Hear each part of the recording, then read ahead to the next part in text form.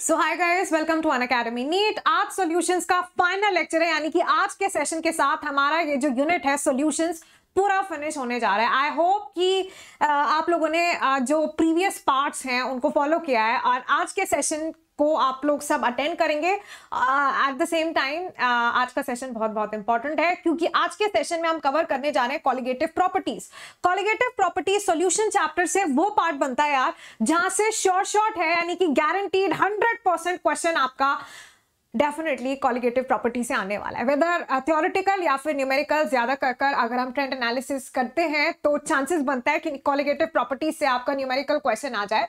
But then हम यहाँ पर सब कुछ कवर करने वाले हैं। नॉट जस्ट कॉलिगेटिव प्रॉपर्टी इसी के साथ साथ वैन ऑफ़ फैक्टर का कॉन्सेप्ट हेनरीज लॉ क्या कहता है उसके एप्लीकेशन क्या होते हैं और कैसे क्वेश्चन अभी तक पूछे गए हैं। तो मैं आप लोगों के साथ कुछ प्रीवियस ईयर क्वेश्चन भी डिस्कस करने वाली हूँ। आज के सेशन की शुरुआत होगी कॉलिगेटिव प्रॉपर्टीज़ के साथ। Let's get started but before that I should see some good जोश here in the chat section और फिर कल से एक नए यूनिट का स्टार्ट हम लोग करने जा रहे हैं यार। 8 PM we will be starting with atomic structure from tomorrow right तो कल से आपका यार स्टार्ट होने जा रहा है atomic structure very very important unit बहुत सारे स्टूडेंट्स को उसमें प्रॉब्लम भी आता है समझने में मुश्किल लगता है स्पेशली uh, जो अटोमिक मॉडल्स वाला पार्ट है क्योंकि उसमें इक्वेशंस थोड़ी आपको देखने में ऐसी लगती हैं कि यार ये तो बहुत हैवी हैवी है। पर आई एम श्योर कि अगर आप मेरे सेशंस फॉलो कर रहे हैं तो केमिस्ट्री आपके लिए आसान बन रही है। कमेंट सेक्शन में तो मुझे वही नज़र आ रहा है और यार, मैं भी अपनी तरफ़ से ट्राई करती हूँ कि आपको हर चीज़ एकदम डिटेल में, एकदम क्लियर पिक्चर आपके सामने दिखाया जाए और आपको एक यू नो मेरी प्रायोरिटी यही रहती है कि यार, हमें क्लास में मिलकर कॉन्सेप्ट बिल्ड करना है। कुछ भी आपको रटाफिकेशन जैसा नहीं लगना चाहिए। चाहे फ़िज़िकल केमिस्ट्री है, जहाँ पर यू नो बहुत सारे फॉर्मूलाज होते हैं एक्सप्रेशन होते हैं न्यूमेरिकल्स होते हैं पर अभी तक जितना फ़िज़िकल केमिस्ट्री हमने पढ़ा है, वो भी मैंने अपनी तरफ़ से पूरी कोशिश की कि आपके लिए आसान बनाया जाए। और कहीं भी आपको यार कुछ ऐसा रट्टाफिकेशन जैसा नहीं लगे, वहीं ऑर्गेनिक और इनऑर्गेनिक में भी हमारी प्रायोरिटी यानी कि आकांक्षा मैम के साथ जब आप केमिस्ट्री पढ़ते हैं तो सिर्फ़ यही रहती है कि यार हमें अच्छे स्ट्रॉन्ग कॉन्सेप्ट बिल्ड करने और एक बार हमारे कॉन्सेप्ट स्ट्रॉन्ग होते हैं, फिर कॉन्फिडेंटली आप प्रिपेयर हो पाते हैं अपने एग्ज़ाम डे के लिए और फिर हमें आगे पीछे कुछ नहीं सोचना है, क्योंकि अगर हमने सही कॉन्सेप्ट बिल्ड किया है, अगर हमने अच्छे क्वेश्चंस प्रैक्टिस किए तो फिर यार क्वेश्चन कैसे नहीं सॉल्व होगा, है ना? Let's quickly get started but before that also अगर कल आपने सेशन अटेंड नहीं किया था तो हैप्पी न्यू ईयर और न्यू ईयर पर देखिए अन अकेडमी पर हम आपको 23 परसेंट ऑफ़ मिल रहा है यार आपके सब्सक्रिप्शन पर, जो बहुत अच्छी बात है। मैं यही चाहूँगी कि मेरे साथ जुड़े हर एक स्टूडेंट का मैक्सिमम बेनिफिट हो। इसीलिए मैं यहाँ पर स्पेशली आपको बता रही हूँ कि यार अभी न्यू ईयर के मौके पर 2023 में हमने एंटर किया है जस्ट कल ही। और यहाँ पर आपको मिल रहा है ट्वेंटी ऑफ़ क्योंकि नॉर्मली आपको इतना डिस्काउंट नहीं मिलता है।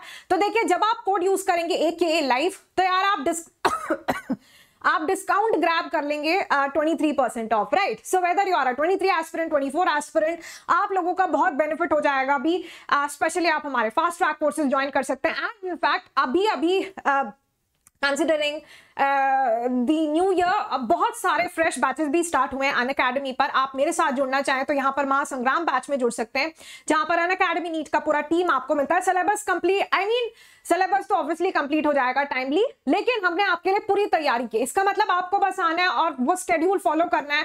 प्रीवियस ईयर क्वेश्चन बाकी का question solving extensive question practice in fact doubt clearing session सब कुछ जो जो ज़रूरी होता है, सब कुछ आपके लिए ऑलरेडी रेडी है। जस्ट दैट आपने आकर कंसिस्टेंट एफर्ट्स के साथ बहुत सारी मेहनत करनी है और उसमें हम आपके साथ हैं, है ना? इसी के साथ top ten thousand question series already चल रहा है।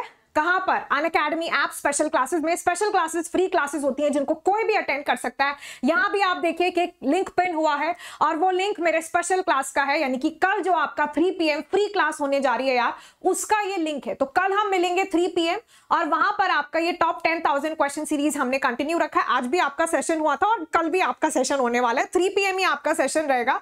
और वहाँ पर हम लोग आपका सोल्यूशन चैप्टर के फाइनल क्वेश्चन प्रैक्टिस करने वाले हैं। तो देखिए यहाँ पर चैट सेक्शन में एक लिंक पिन हुआ है। लिंक पर क्लिक कर फटाफट से एनरोल करा देंगे। अभी हम बढ़ते हैं आगे और डिस्कस करते हैं कॉलिगेटिव प्रॉपर्टीज़ आई होप आपने कल का सेशन रिवाइज किया है, है ना? नहीं नहीं थर्टी फ़र्स्ट थर्टी फ़र्स्ट दिसंबर हमने आपका क्लास लिया था और उसमें आइडियल नॉन आइडियल सॉल्यूशंस क्या होते हैं? कौन कौन एग्ज़ाम्पल बनते हैं आइडियल नॉन आइडियल सॉल्यूशंस के? वो सब कुछ हम ऑलरेडी डिस्कस कर चुके हैं। अब भी हमें बात करनी है यार कॉलिगेटिव प्रॉपर्टीज़ की कि मैम कॉलिगेटिव प्रॉपर्टीज़ क्या होती हैं? एजियोट्रॉप्स ये सब कुछ हमने डिस्कस किया, है ना? तो देखिए colligative properties we have four colligative properties right तो हेडिंग डालेंगे हम लोग। यार थोड़ा मतलब can I see some good energy here और आज आपको दोनों ही सेशंस का पीडीएफ मिल जाएगा, यानी कि lecture three as well as lecture four Telegram पर आपको पीडीएफ मिल जाता है, यानी कि नोट्स मिल जाते हैं। तो आई होप टेलीग्राम पर आपने मुझे ज्वाइन किया है। देखो यार, देखो देखो देखो। हेडिंग डालेंगे कॉलिगेटिव प्रॉपर्टीज़ आज के सेशन में हम कवर करने जा रहे हैं कॉलिगेटिव कॉलिगेटिव प्रॉपर्टीज़ राइट देखिए कॉलिगेटिव प्रॉपर्टीज़ मैंने आपको पहले भी बताया है कि यार कॉलिगेटिव प्रॉपर्टीज़ वो वाली प्रॉपर्टीज़ होती हैं जो number of moles of solute पर डिपेंड करती है जिनको कोई फ़र्क नहीं पड़ता कि आपने आ, क्या सॉल्यूशन प्रिपेयर किया है क्या सॉल्यूट लिया है जो सिर्फ़ और सिर्फ़ इस बात पर डिपेंड करती है कि आपके नंबर ऑफ़ मोल्स किस, कितने हैं? इसका मतलब ये एंड इनफैक्ट ये प्रीवियस ईयर में पूछा भी गया है। तो ध्यान रखिएगा, अगर हम क्वालिटेटिव प्रॉपर्टीज़ की बात करते हैं तो यहाँ पर these are the properties which depends only and only on the number of moles of solute particles आपके पास सॉल्यूट पार्टिकल्स के कितने नंबर ऑफ़ मोल्स हैं इरिस्पेक्टिव ऑफ़ देयर नेचर कोई फ़र्क नहीं पड़ता है कि उनका नेचर कैसा है। यूरिया है ग्लूकोज है वाटर है इथेनॉल है मिथेनॉल है, कुछ भी है यार। डिपेंड करता है किसके ऊपर? केवल और केवल नंबर ऑफ़ मोल्स पर। इसका मतलब मानिए आपके पास फाइव मोल्स ऑफ़ यूरिया है है ना? Urea is an organic compound और ऐसे आपके पास फाइव मोल्स हैं लेट्स से ग्लूकोज का। तो यार, इन दोनों की ही आपकी ऑब्वियसली दो अलग अलग कंपाउंड है। दोनों के अलग अलग कैरेक्टरिस्टिक्स हैं, दोनों का प्रॉपर्टीज़ नेचर बिहेवियर सब कुछ अलग होगा। लेकिन क्योंकि इनके नंबर ऑफ़ मोल सेम है और क्योंकि आपके जो कॉलिगेटिव प्रॉपर्टीज़ होते हैं, वो सिर्फ़ और सिर्फ़ number of moles per he depend करते हैं, इसीलिए जितनी भी कॉलिगेटिव प्रॉपर्टीज़ होंगी, वो सब इन दोनों ही कंपाउंड्स के लिए प्रोवाइडेड ये आपके नंबर ऑफ़ मोल्स हैं, ये इक्वी मोलर हैं तो यार वो आपका सेम ही आने वाला है कॉलिगेटिव प्रॉपर्टी ठीक है? आई होप समझ पाया आपकी कॉलिगेटिव प्रॉपर्टी क्या होती है। तो ये सेम कॉन्सेप्ट पर प्रीवियस ईयर क्वेश्चन आया हुआ है। स्टेटमेंट क्वेश्चन था और उन्होंने यही पूछने की कोशिश की थी कि colligative properties number of moles of solute particles पर डिपेंड करती हैं, बाकी किसी दूसरे फैक्टर पर नहीं।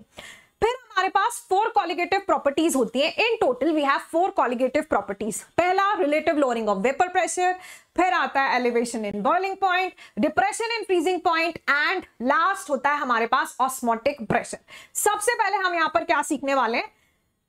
Relative lowering of vapour pressure जो बड़ा बड़ा सा लगता है बोलने में, है ना? तो इसीलिए पता है इसको हम शॉर्ट में क्या बोलते हैं? शॉर्टकट तो हर चीज़ का आप लोग ढूंढ ही लेते हैं ना। तो देखिए, इसको हम क्या बोलते हैं? R L V P so आपके पास ये जो प्रॉपर्टी आता है relative lowering of vapour pressure that is R L V P अब भी, जब भी मैं आपको बोलने वाली हूँ आर एल वी पी आपके दिमाग में इंस्टेंट क्लिक करना चाहिए कि यार, आकांक्षा मैम किसकी बात कर रही है? Relative lowering of vapour pressure वाले कॉलिगेटिव प्रॉपर्टी की बात कर रही है। करेक्ट है? अब देखो यार, मेरे को एक बात बताओ। मान लीजिए यहाँ पर, ये जो आपको कंटेनर नंबर वन दिख है ना, जिसके नीचे हमने ऐसा ए लिखा हुआ है, आप देखिए इस कंटेनर में मैंने एक सॉल्वेंट लिया है है ना? प्योर सॉल्वेंट है। मतलब जस्ट इमेजिन कि इस कंटेनर में ओनली एंड ओनली वाटर है। प्योर का मतलब क्या होता है कि उसके अलावा कुछ भी नहीं है है ना? तो यहाँ पर ये जो आपका कंटेनर है, इसमें सिर्फ़ और सिर्फ़ क्या है? वाटर है प्योर सॉल्वेंट है करेक्ट तो आप मुझे एक बात बताइए, अगर आपका ये कंटेनर इंक्लोज है, यानी कि कवर्ड है तो यहाँ पर वेपर्स बनेंगी ना? जस्ट इमेजिन कि यहाँ पर सॉल्वेंट कौन है? वाटर है यार। तो आपको पता है रूम टेम्परेचर पर वाटर की तो वेपर्स बनती ही हैं। तो यहाँ पर आपके पास वेपर्स बन जाएँगी यार। और मैम यहाँ पर जितनी वेपर्स बनेंगी, वो एक प्रेशर एक्सर्ट करेंगी, जिसको हम क्या बोलते हैं? वेपर प्रेशर बोलते हैं। बोलो यार, ये हमने सीखा है। तो यहाँ से आपके पास क्या जाएगा? सॉल्वेंट का एसवी लिख रही हूँ। एसवी बोले तो सॉल्वेंट का वेपर प्रेशर और इधर नॉट लिख देना। नॉट क्या रिप्रेजेंट करता है? थोड़ा बड़ा बड़ा लिखते हैं आपके लिए। है ना, आपके कन्वीनियंस के लिए। तो यहाँ पर हमारे पास जो प्रेशर बनने वाला है, ये vapour say that will B PSV बोले तो सॉल्वेंट का वेपर प्रेशर और दैट टू प्योर ऊपर नॉट का साइन क्या रिप्रेजेंट करता है कि यार ये प्योर वेपर प्रेशर है। ध्यान है, आपको हमने डिस्कस किया था, एक पार्शियल प्रेशर होता है, एक प्योर वेपर प्रेशर होता है। तो क्योंकि हम प्योर सॉल्वेंट के साथ डील कर रहे हैं, इसीलिए यहाँ पर इसका प्योर प्रेशर आएगा प्योर वेपर प्रेशर आएगा। Cool cool. फिर जस्ट इमेजिन मैंने क्या किया यार? इसके अंदर सॉल्यूट डाल दिया। यही जो हमारा सॉल्वेंट है ना, इसमें मैंने किसको इंट्रोड्यूस किया? सॉल्यूट को। लेट से यहाँ पर हमने NaCl, नमक यार ठीक है सोडियम क्लोराइड वो हमने सॉल्यूट ऐड किया है। तो यहाँ पर आप देख रहे हो ये ग्रीन ग्रीन पार्टिकल्स सबको दिख रहा है ना ये ग्रीन ग्रीन पार्टिकल्स हमारे बीकर के अंदर है। ये कौन है ग्रीन पार्टिकल्स सॉल्यूट पार्टिकल्स है। यानी कि जो आपने NaCl सॉल्ट ऐड किया है, ये उसके पार्टिकल्स है। अब यार मेरे को एक बात बताओ। अगर आपने सॉल्ट ऐड किया है तो यहाँ पर ये जो आपका सरफेस पर मॉलिक्यूल्स होंगे, है ना? सर्फ देखो यार, आपकी वेपर्स कहाँ से बनेंगी? वेपर कैसे बनती है? वेपर बनने के लिए, यानी कि मॉलिक्यूल के ऐसे वेपर फ़ेज़ में जाने के लिए सबसे पहले वो किधर आता है मैम? सरफेस पर आता है कि नहीं? बोले यार, सबसे पहले तो अपना मॉलिक्यूल सरफेस पर ही आता है ना? तो पहले सरफेस पर आएगा, फिर ऊपर जाएगा। भाई लिक्विड फ़ेज़ को छोड़ने के लिए उसको पहले सरफेस पर आना पड़ेगा और फिर वो वहाँ से एस्केप आउट हो जाएगा। तो अगर आपके पास, आपका ये जो आपने जब सॉल्ट डाला है तो अभी क्या होने वाला है? यार, देखो, जो आपका प्योर सॉल्वेंट वाला केस था, उसमें तो कुछ है ही नहीं। तो इसका मतलब सरफेस पर आपके पास सिर्फ़ और सिर्फ़ वाटर मॉलिक्यूल्स हैं। आप देख रहे हैं, सिर्फ़ वाटर मॉलिक्यूल्स हैं हमारे पास सरफेस पर। करेक्ट है? लेकिन अगर हम दूसरा केस देखते हैं, क्योंकि आपने solute which is your salt को भी इंट्रोड्यूस कर दिया है बिकॉज़ ऑफ़ दैट अभी दूसरे केस में हमारे पास सरफेस पर कौन आ गए हैं? आपके सॉल्ट पार्टिकल्स भी हैं। यानी कि NaCl भी आ गया यार सॉल्यूट पार्टिकल्स भी आ गए। अब इसका मतलब क्या है? कि उतने वेपर फॉर्म में तो पार्टिकल्स जाएँगे नहीं। इसका मतलब वेपर कम बनेगी। बताओ मेरे को, आप सब इस बात के साथ अग्री करते हैं? तो हम सब भेजिए इधर की यस मैम वेपर तो कम ही बनेगी। और यार, अगर वेपर कम बनेगी तो मैम प्रेशर भी तो कम ही बनेगा, है ना? तो इसका मतलब यार अच्छा एक बात बताओ वेपर बनेगी किसकी? क्या NaCl भी वेपर बनाता है क्या नहीं? हमेशा ध्यान रखेंगे कि हम यहाँ पर क्या ऐड कर रहे हैं? एक नॉन वॉलेटाइल सॉल्यूट ऐड कर रहे हैं। NaCl क्या होता है? एक नॉन वॉलेटाइल सॉल्यूट होता है करेक्ट है? वेपर तो अभी भी वाटर की बनेगी, सॉल्वेंट की ही वेपर्स बनने वाली हैं। हम हमेशा क्या, जब आप relative lowering of vapour pressure, ये वाला जब हम कॉलिगेटिव प्रॉपर्टी डिस्कस करते हैं, हम हमेशा ही एक नॉन वॉलेटाइल सॉल्यूट ऐड करते हैं।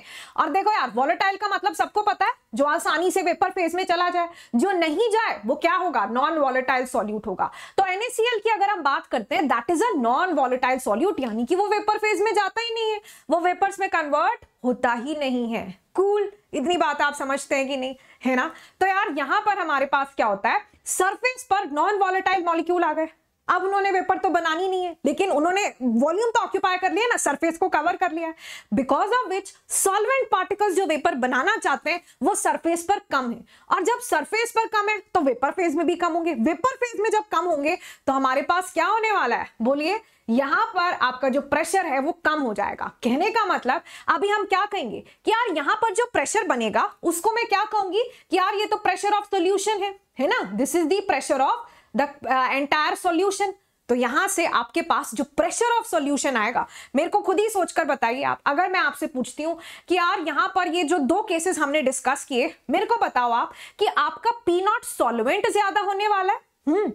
मतलब प्योर प्रेशर ऑफ़ सॉल्वेंट ज़्यादा होने वाला है, या फिर आपका प्रेशर ऑफ़ सॉल्यूशन ज़्यादा होने वाला है। आई एम श्योर जितने स्टूडेंट्स यहाँ पर अभी मेरे को ये सेशन में पार्टिसिपेट कर रहे हैं मेरे साथ, सब लोग यही कहने वाले हैं कि यार मैम देखो ऑब्वियस सी बात है कि प्योर का ही प्रेशर ज़्यादा होगा, क्योंकि यहाँ पर सरफेस पर सॉल्वेंट मॉलिक्यूल ज़्यादा है वेपर ज़्यादा बन रही है तो प्रेशर तो फिर ज़्यादा ही होगा, है ना? अभी कितना, इसका मतलब देखिए ओवरऑल पिक्चर अगर हम देखते हैं तो क्या हुआ है? नॉन वॉलेटाइल सॉल्यूट के एडिशन से, है ना? ये डायग्राम देखिए दोबारा। जब हमने एक नॉन वॉलेटाइल सॉल्यूट इंट्रोड्यूस किया है, आपका प्रेशर की क्या हो गई है? लोअरिंग हो गई प्रेशर कम हो गया कि नहीं? प्रेशर पहले प्योर के केस में ज़्यादा था। जब आपने एक नॉन वॉलेटाइल सॉल्यूट ऐड किया तो प्रेशर कम हो गया है। इसी को हम क्या कहते हैं? लोअरिंग ऑफ़ वेपर प्रेशर क्या हुआ है? प्रेशर कम हुआ ना यार। नॉन वोलेटाइल सॉल्यूट डाला प्रेशर कम हो गया।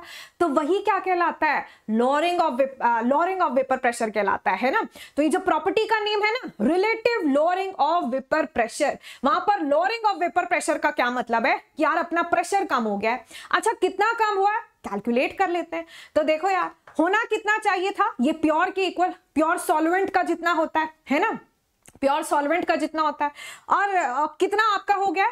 प्रेशर इतना हो गया प्रेशर सॉल्यूशन के इक्वल राइट तो यहाँ पर इतनी उसकी क्या हुई है? लोरिंग हो गई है, यानी कि प्रेशर इतने से क्या हो गया? कम हो गया है। तो ये आपका क्या है? लोरिंग है, यानी कि चेंज इन प्रेशर है। तो क्या मैं इसको डेल्टा पी से रिप्रेजेंट कर सकती हूँ? जल्दी से बोलिए कि यस मैम है ना यार? इतना हमारा प्रेशर में चेंज आया, इतना प्रेशर की लोरिंग हो गई है। लेकिन यार, ये जो हमारा प्रॉपर्टी है, उसका नेम क्या है? Relative lowering of vapour pressure यहाँ पर जो आपके सामने ये एक्सप्रेशन लिखा है, वो सिर्फ़ किसको रिप्रेजेंट कर रहा है? लोअरिंग ऑफ़ वेपर प्रेशर को। But then what is your colligative property relative lowering of vapour pressure lowering of vapour pressure colligative property नहीं है। Relative lowering of vapour pressure colligative property है। तो देखो रिलेटिव जब भी हम रिलेटिव की बात करते हैं ना, इसका मतलब विद रिस्पेक्ट टू समथिंग है।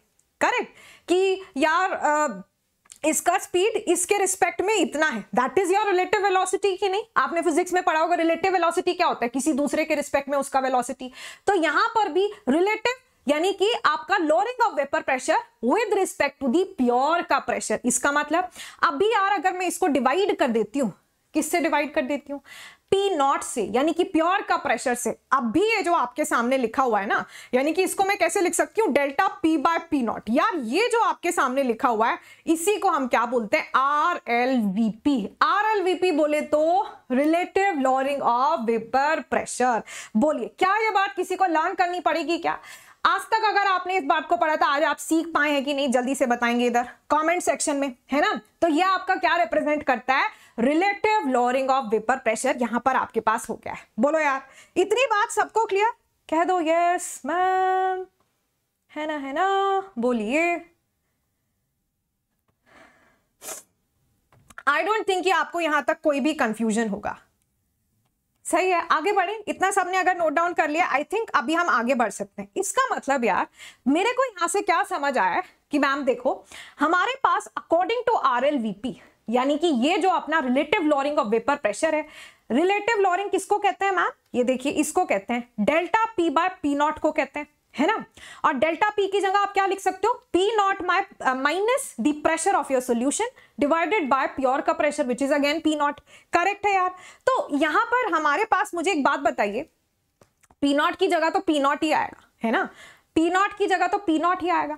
What about the pressure of solution pressure of solution के बारे में मुझे बताओ। यार राउल्स लॉ यूज़ करिए ना। अकॉर्डिंग टू राउल्स लॉ मेरे को बताओ कि आपका किसी भी कंपोनेंट का पार्शियल प्रेशर किसके इक्वल होता है? देखो राउंड लॉ क्या कहता है कि यार, अगर आप पार्शियल प्रेशर किसी भी कंपोनेंट का लेते हैं that is directly proportional to उसका मोल फ्रैक्शन और यहाँ पर एक्चुअली वो किसका मोल फ्रैक्शन होगा? खुद सोचिए मोल फ्रैक्शन सॉल्यूट का होगा या सॉल्वेंट का होगा, या फिर सॉल्यूशन का होगा। किसी किसी को लग सकता है कि यार मैम देखो यहाँ पर आप प्रेशर ऑफ़ सॉल्यूशन लिख रहे हो तो यहाँ पर आपको मोल फ्रैक्शन ऑफ़ सॉल्यूशन लिखना चाहिए। पर सॉल्यूशन क्या होता है? मोल फ्रैक्शन ऑफ़ सॉल्यूट हो मोल फ्रैक्शन तो हमेशा कंपोनेंट का होता है ना? तो what is this mole fraction of solution नहीं अभी आप खुद ही सोचिए कि यार ये जो आपका प्रेशर है, मेरे को एक इधर डायग्राम में देखकर बताओ, ये जो आपका प्रेशर ऑफ़ सॉल्यूशन बन रहा है उधर सिर्फ़ आपको क्या दिख रहे हैं? वाटर के ही तो वेपर्स दिख रहे हैं, है ना? मतलब सॉल्वेंट के ही तो वेपर्स दिख रहे हैं। इसका मतलब यहाँ पर प्रेशर के लिए रिस्पॉन्सिबल कौन है? सिर्फ़ और सिर्फ़ सॉल्वेंट रिस्पॉन्सिबल है कि नहीं? है ना यार? तो प्रेशर किस पर डिपेंड करेगा? सॉल्वेंट की अमाउंट पर। सॉल्वेंट जितना ज़्यादा होगा, उतना ज़्यादा प्रेशर बन जाएगा, है ना? तो यहाँ पर according to Raoult's law actually क्या आना चाहिए कि ये जो आपका प्रेशर ऑफ़ सोल्यूशन है, जिसको हमने ऐसा रिप्रेजेंट किया है that should be directly proportional to the mole fraction of the solvent particles बोलिए, इतनी बात सबको क्लियर है कि मैंने सॉल्वेंट ही क्यों लिखा है? क्योंकि यार प्रेशर तो सॉल्वेंट से ही बन रहा है। सॉल्यूट तो नॉन वॉलेटाइल है, वहाँ से तो प्रेशर बनता ही नहीं है है ना? ठीक है? तो यहाँ पर यूजिंग राउट्स लॉ अगर हम इसको फर्दर एक्सपैंड करते हैं तो क्या आ जाएगा? That the pressure of solution is equal to P naught pure का, है ना? अभी वापस से प्योर किसका आएगा? प्योर सॉल्वेंट का। P naught multiplied by the mole fraction of solvent बोलिए, यहाँ तक कोई मुश्किल? नो नो नो नो अब यार यहाँ पर इस बार, इस सेम जो हमने यहाँ पर ये डिराइव किया है व्हाट इफ़ मैं इसको ये सेम एक्सप्रेशन में पुट कर देती हूँ? इसका मतलब हम जानते हैं according to R L V P delta P by P naught आपके पास क्या होता है? बोलिए delta P by P naught is equal to बोलो बोलो P naught minus P S divided by P naught है ना? तो फिर क्या आएगा? पी नॉट अच्छा नेक्स्ट नेक्स्ट लाइन में लिखते हैं आपके लिए, आपके बेटर अंडरस्टैंडिंग के लिए, देखिए। पी नॉट की जगह तो पी नॉट ही लिखा रहने देते हैं। What about the pressure of ये जो सॉल्यूशन है, क्या लिखेंगे आप? पी नॉट एक्स सॉल्वेंट है ना? P naught X solvent divided by P naught ऐसा लग रहा है पीनट बोल रही हूँ मैं, है ना? कभी कभी but it is P naught okay जी? ठीक है। अब ऊपर डिनोमिनेटर और न्यूमरेटर में मेरे को एक बात बताओ। न्यूमरेटर से मैं पी नॉट कॉमन ले लूँ तो चलेगा यार? तो क्या आएगा आपके पास? वन माइनस एक्स सॉल्वेंट आएगा कि नहीं? मोल फ्रैक्शन ऑफ़ सॉल्वेंट है ना? एंड डिनोमिनेटर में तो हमारे पास मैम पहले ही क्या है? बोलिए डिनोमिनेटर में तो आपके पास पी नॉट है ही, है ना? तो यार, यहाँ पर मेरे को एक बात बताओ। पी नॉट से पी नॉट कैंसिल हो रहा है। न्यूमरेटर और डिनोमिनेटर में पी नॉट से पी नॉट कैंसिल हो रहा है कि नहीं? अभी आपके पास क्या होगा? One minus X solvent what is this याद करिए X solute total mole fraction दोनों कंपोनेंट्स का मिलाकर हमेशा क्या होता है? वन के इक्वल होता है। इसका मतलब हम जानते हैं कि molar mole fraction of solute plus mole fraction of solvent किसके इक्वल होता है? वन के इक्वल होता है। तो क्या यहाँ पर मैं मोल फ्रैक्शन ऑफ़ सॉल्यूट को वन माइनस एक्स सॉल्वेंट लिख सकती हूँ यार? हाँ जी, बिल्कुल। तो यार, मेरे को इधर बताओ, यही तो है। ये देखना, वन माइनस एक्स सॉल्वेंट तो लिखा है। इसका मतलब this becomes equal to the mole fraction of solute आपने देखा, इतना बड़ा एक्सप्रेशन था ऐसा delta P by P naught P naught minus pressure of solution by P naught और ये किसके इक्वल आया है?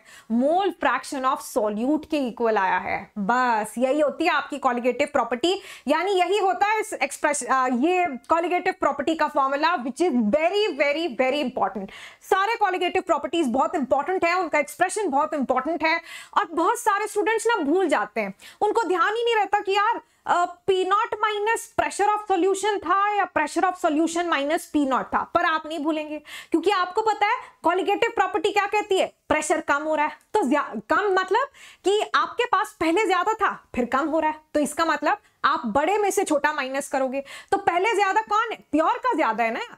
हम सबको पता है प्योर का ज़्यादा है। अभी तो आप this is very basic for you now तो हमारे पास क्या हो जाएगा? P naught minus pressure of solution इसलिए कभी भूलना नहीं है। लॉरिंग ऑफ़ वेपर प्रेशर हुआ। रिलेटिव है किसके रिस्पेक्ट में? प्योर के रिस्पेक्ट में। और जब हम इसको करते हैं कैलकुलेट तो ये किसके इक्वल आ जाता है? यानी कि जब हम इसको सिंप्लीफाई करते हैं further this becomes equal to the mole fraction of solute सीधा इस बात पर आपको एक्सप्रेशन भी पूछ सकते हैं। क्वेश्चन न्यूमेरिकल फॉर्म में भी आ सकता है जो हम करेंगे डिस्कस और स्टेटमेंट uh, फॉर्म में भी आ सकता है। कि यार किसके ऊपर डिपेंड करता है आपका R L mole fraction of solute particles के ऊपर, mole fraction of solvent particles के ऊपर, दोनों के ऊपर तो यार आपके सामने आंसर है। बोलो, यहाँ किसी को कोई मुश्किल आएगी क्या? और क्या आपको ये एक्सप्रेशन लर्न करना पड़ा है यहाँ पर? बताइए। बोलो जी, कोई मुश्किल? नो नो नो नो और इसी के साथ जितने स्टूडेंट्स अब भी हमारे साथ यहाँ पर ये सेशन में पार्टिसिपेट कर रहे हैं मेक श्योर sure आप सबने अपना अपना अटेंडेंस किया है यहाँ पर ये सेशन में रजिस्टर और सेशन को दिया है बहुत सारा प्यार और सबने सेशन को लाइक किया यार है ना है ना? बोलो। मज़ा आया। यहाँ तक आपको ऐसा लगा कि यार, ये तो बड़ा मुश्किल है यार, ये तो मेरे को लर्न करना पड़ेगा। नहीं लगा ना। जबकि यहाँ पर हमने एक एक्सप्रेशन एक फॉर्मूला आपके साथ मैंने डिस्कस किया है। बट देन अब आप ये भूलेंगे नहीं। कहीं आपको कोई मुश्किल नहीं आएगी और मुझे नहीं लगता आपको लर्न करना पड़ेगा। कहीं कोई कंफ्यूजन हो जाए, पहले प्रेशर ऑफ़ सॉल्वेंट था या ये था, वो था। अभी कोई कंफ्यूजन का स्कोप नहीं है, क्योंकि मैंने आपको उसी तरीके से समझाया है। ना? वेरी गुड अब यार, मेरे को एक बात बताओ। कि यहाँ पर ये जो आपका मोल फ्रैक्शन ऑफ़ सॉल्यूट होता है, हमारे पास मोल फ्रैक्शन ऑफ़ सॉल्यूट का मतलब क्या होता है? मैम, हम सबको आता है, क्योंकि हमने कॉन्सेंट्रेशन टर्म्स बड़े अच्छे से पढ़ा है। और कॉन्सेंट्रेशन टर्म्स तो हमें बड़े अच्छे लगते हैं, क्योंकि mole fraction of solute will be equal to number of moles of solute divided by the total number of moles which is number of moles of solute particles plus number of moles of solvent particles है ना यार? ये तो मुश्किल बात बिल्कुल भी नहीं है। ये तो बड़ी आसान बात है यार, हम सबको आती है। अच्छा जी, अब मेरे को एक बात बताओ। यार अगर आपके पास एक वेरी वेरी डाल्यूट सोल्यूशन है जस्ट इमेजिन मैंने क्या कहा कि यार मैंने ना आपको वेरी डाल्यूट सोल्यूशन दिया है। कैसा सोल्यूशन वेरी डाल्यूट इसका मतलब किसके मोल्स बहुत ज़्यादा होंगे? सॉल्वेंट के मोल्स ज़्यादा होंगे या सॉल्यूट के मोल्स ज़्यादा होंगे? यार डेफिनेटली सॉल्वेंट के ज़्यादा होंगे मैम क्यों? क्योंकि डाल्यूशन का मतलब ही क्या होता है? एडिशन ऑफ़ सॉल्वेंट पार्टिकल्स यानी कि आप सॉल्वेंट बहुत ज़्यादा डाल रहे हैं तो फिर क्या होता है? डाल्यूशन uh, हो जाता है। तो इसका मतलब अगर एक वेरी डाल्यूट सोल्यूशन है तो वहाँ पर आपके नंबर ऑफ़ मोल्स किसके या सॉल्वेंट के बहुत ज़्यादा होंगे as compared to the number of moles of solute particles is it कह दीजिए यस मैम तो यार यहाँ पर अभी मैं अगर यही कॉन्सेप्ट करती हूँ यहाँ पर अप्लाई इसका मतलब if I apply the same approximation in this expression तो मैं क्या कह सकती हूँ कि यार डिनोमिनेटर जो अपना है उधर यार, इसको तो आप लोग गायब कर सकते हो। इसको तो हम इग्नोर कर सकते हैं कि नहीं number of most of solute क्योंकि सॉल्वेंट पार्टिकल्स अगर वेरी डायल्यूट है तो बहुत ज़्यादा होंगे, है ना? तो दिस इज़ ऑलमोस्ट नेग्लिजिबल यानी कि आपके जो नंबर ऑफ़ सॉल्यूट पार्टिकल्स हैं, वो नेग्लिजिबल है। दैट मींस हम फर्दर अपने एक्सप्रेशन को कैसे सिंप्लीफाई कर सकते हैं कि यार मोल फ्रैक्शन ऑफ़ ये जो सॉल्यूट है ना, क्योंकि सॉल्यूशन बहुत डायल्यूट है, आप ऐसे लिख लीजिए number of moles of solute particle divided by the number of moles of solvent particles एक और प्रीवियस ईयर क्वेश्चन का सोल्यूशन आपके सामने है। प्रीवियस ईयर क्वेश्चन में क्या पूछा है? देखो मैं जहाँ जहाँ टेक्स्ट पढ़ाते हुए आपका पीवाई क्यों आता है, सब आपको पढ़ा रही हूँ। प्रीवियस ईयर क्वेश्चन में पूछा था कि आपका जो relative lowering of vapour pressure होता है, वो किसके रेशियो पर डिपेंड करता है? नंबर मतलब नंबर ऑफ़ मोल्स के क्या रेशियो पर डिपेंड करता है? Solute by solvent solvent by solute only solvent या only solute this is the answer ठीक है? तो नंबर ऑफ़ मोल्स का रेशियो भी पूछ लेते हैं वो वो ऐसे कंफ्यूज करते हैं आपको कि यार number of moles of solute by solvent होगा सॉल्वेंट बाय सॉल्यूट होगा, या खाली सॉल्यूट होगा, या केवल सॉल्वेंट होगा? Here is your answer depends on the number of moles of solute particles divided by the number of moles of solvent. आहा कोई मुश्किल? नो नो नो नो है ना? अच्छा एक और बात। यार मैम ये तो ना आपने अप्रोक्सीमेशन लगा दिया, है ना? आपने कह दिया कि सॉल्यूशन वेरी डाइल्यूट है। तो अभी हमेशा के लिए आपको एक बात ध्यान रखनी है कि जो कॉलिगेटिव प्रॉपर्टीज़ का कॉन्सेप्ट होता है, वो सिर्फ़ और सिर्फ़ डाइल्यूट सॉल्यूशन के लिए होता है। वो एक्चुअली डाइल्यूट सॉल्यूशन के लिए ही एप्लीकेबल है। ठीक है? तो आगे भी आप जितनी कॉलिगेटिव प्रॉपर्टी पढ़ने वाले हैं ना, या जो भी कॉलिगेटिव प्रॉपर्टी रिलेटिव कॉन्सेप्ट आप पढ़ते हैं बाय डिफ़ॉल्ट आपने अज्यूम कर लेना है कि हमारा सॉल्यूशन डायल्यूट ही है वेरी डायल्यूट है, क्योंकि कॉलिगेटिव प्रॉपर्टी का concept is applicable only for very dilute solutions only right so बोलो यार, कह दो नो मैम कि कोई मुश्किल नहीं है है ना है ना? ठीक है। तो इसका मतलब इसका मतलब हमने क्या सीखा? हमने सीखा मैम एक प्रॉपर्टी होती है कॉलिगेटिव प्रॉपर्टी जिसको हम बोलते हैं आर एल वी पी बोले तो relative lowering of vapour pressure है ना? फिर इसका एक्सप्रेशन कैसे लिखते हैं मैम यहाँ पर लोअरिंग ऑफ़ वेपर प्रेशर होती है। मैम क्या होता है? पहले प्योर का प्रेशर ज़्यादा होता है, फिर जब हम उसमें सॉल्यूट डालते हैं तो प्रेशर ऑफ़ सॉल्यूशन कम हो जाता है। This is the lowering in vapour pressure फिर जब आप रिलेटिव लोअरिंग फाइंड आउट करते हो तो यहाँ पर आपको पी नॉट से डिवाइड करना होता है with respect to the pure का प्रेशर हम फाइंड आउट करते हैं। Now this is equal to the mole fraction of solute particles this is sorry mole fraction of solvent particles mole fraction किसका होता है? सॉल्यूट का। है ना? This is equal to mole fraction of solute particles जिसको हम further जब simplify uh, करते हैं फॉर वेरी डाल्यूट सॉल्यूशंस तो क्या निकल कर आता है? Number of moles of solute divided by the number of moles of solvent aha here is your expression कह दो यस मैम अब यहाँ से क्वेश्चन आ जाए। जस्ट इमेजिन उन्होंने आपको प्योर का प्रेशर दिया है सॉल्यूशन का दिया है आपको सॉल्वेंट के मोल्स दिए हैं और आपसे पूछा है कि यार हमें ना आ, मतलब सॉल्यूट का मोलर मास बता दीजिए। What will be the molar mass of solute तो आप बता देंगे ना अगर आपको उसका वेट गिवन है क्योंकि हम जानते हैं number of moles is equal to given mass by molar mass है ना? तो वो भी आपके साथ एक्सप्रेशन हम आ, मतलब मैं आपके साथ डिस्कस करूँगी बट आई होप कि यहाँ तक आपको कोई प्रॉब्लम नहीं। अभी तक यार कोई इतना बड़ा बड़ा ऐसा तो नहीं लगा आपको कि ओ गॉड ये तो बहुत ज़्यादा ही मैथ हो गया है मैम ऐसा तो नहीं लग रहा है ना आपको? बोलिए। बोलो यार। ठीक है। यहाँ तक सबको क्लियर आई होप यहाँ तक आपको कोई मुश्किल नहीं है। फिर आगे बढ़ते हैं। देखो यार, हमारे पास यहाँ पर ये जो एक्सप्रेशन आया है, वो एक्सप्रेशन क्या कहता है? कि number of moles of solute by number of moles of solvent particles है ना? यार, मेरे को एक बात बताओ, ये जो आपका number of moles of solvent है है ना? ये जो हमारा number of moles of solvent है, क्या मैं इसकी जगह ऐसा लिख सकती हूँ कि आपका given mass by molar mass of solvent है ना? By molar mass of solvent क्योंकि नंबर ऑफ़ मोल्स क्या होते हैं? Given mass by molar mass तुम तो बड़ा इंटेलिजेंट हो यार। अब तो सबको पता है कि नहीं number of moles is equal to given mass by molar mass अभी क्योंकि ये डिनोमिनेटर में है तो क्या ये ऊपर मल्टीप्लीकेशन में नहीं चला जाएगा? हाँ जी, ये ऊपर मल्टीप्लीकेशन में चला जाएगा। तो हमारे पास यहाँ से क्या आने वाला है? It be multiplied by the molar mass of solvent isn't it यहाँ पर आप ऐसा ही करने वाले कि हमारे पास number of moles of solute will be I mean number of moles of solute divided by the weight of solvent multiplied by the molar mass of solvent कह दो यस मैम कह दो कह दो, है ना? ठीक है. अब यार एक बात बताओ. अगर मान लीजिए मेरे पास वेट ऑफ़ सॉल्वेंट यहाँ पर ग्राम्स में है हम्म और मैं इस एक्सप्रेशन को थाउज़ेंड से मल्टीप्लाई और थाउज़ेंड से डिवाइड कर देती हूँ, है ना? मेरा मन किया, मैंने ऐसा किया, क्या किया? थाउज़ेंड से मल्टीप्लाई एंड थाउज़ेंड से हमने डिवाइड कर दिया है.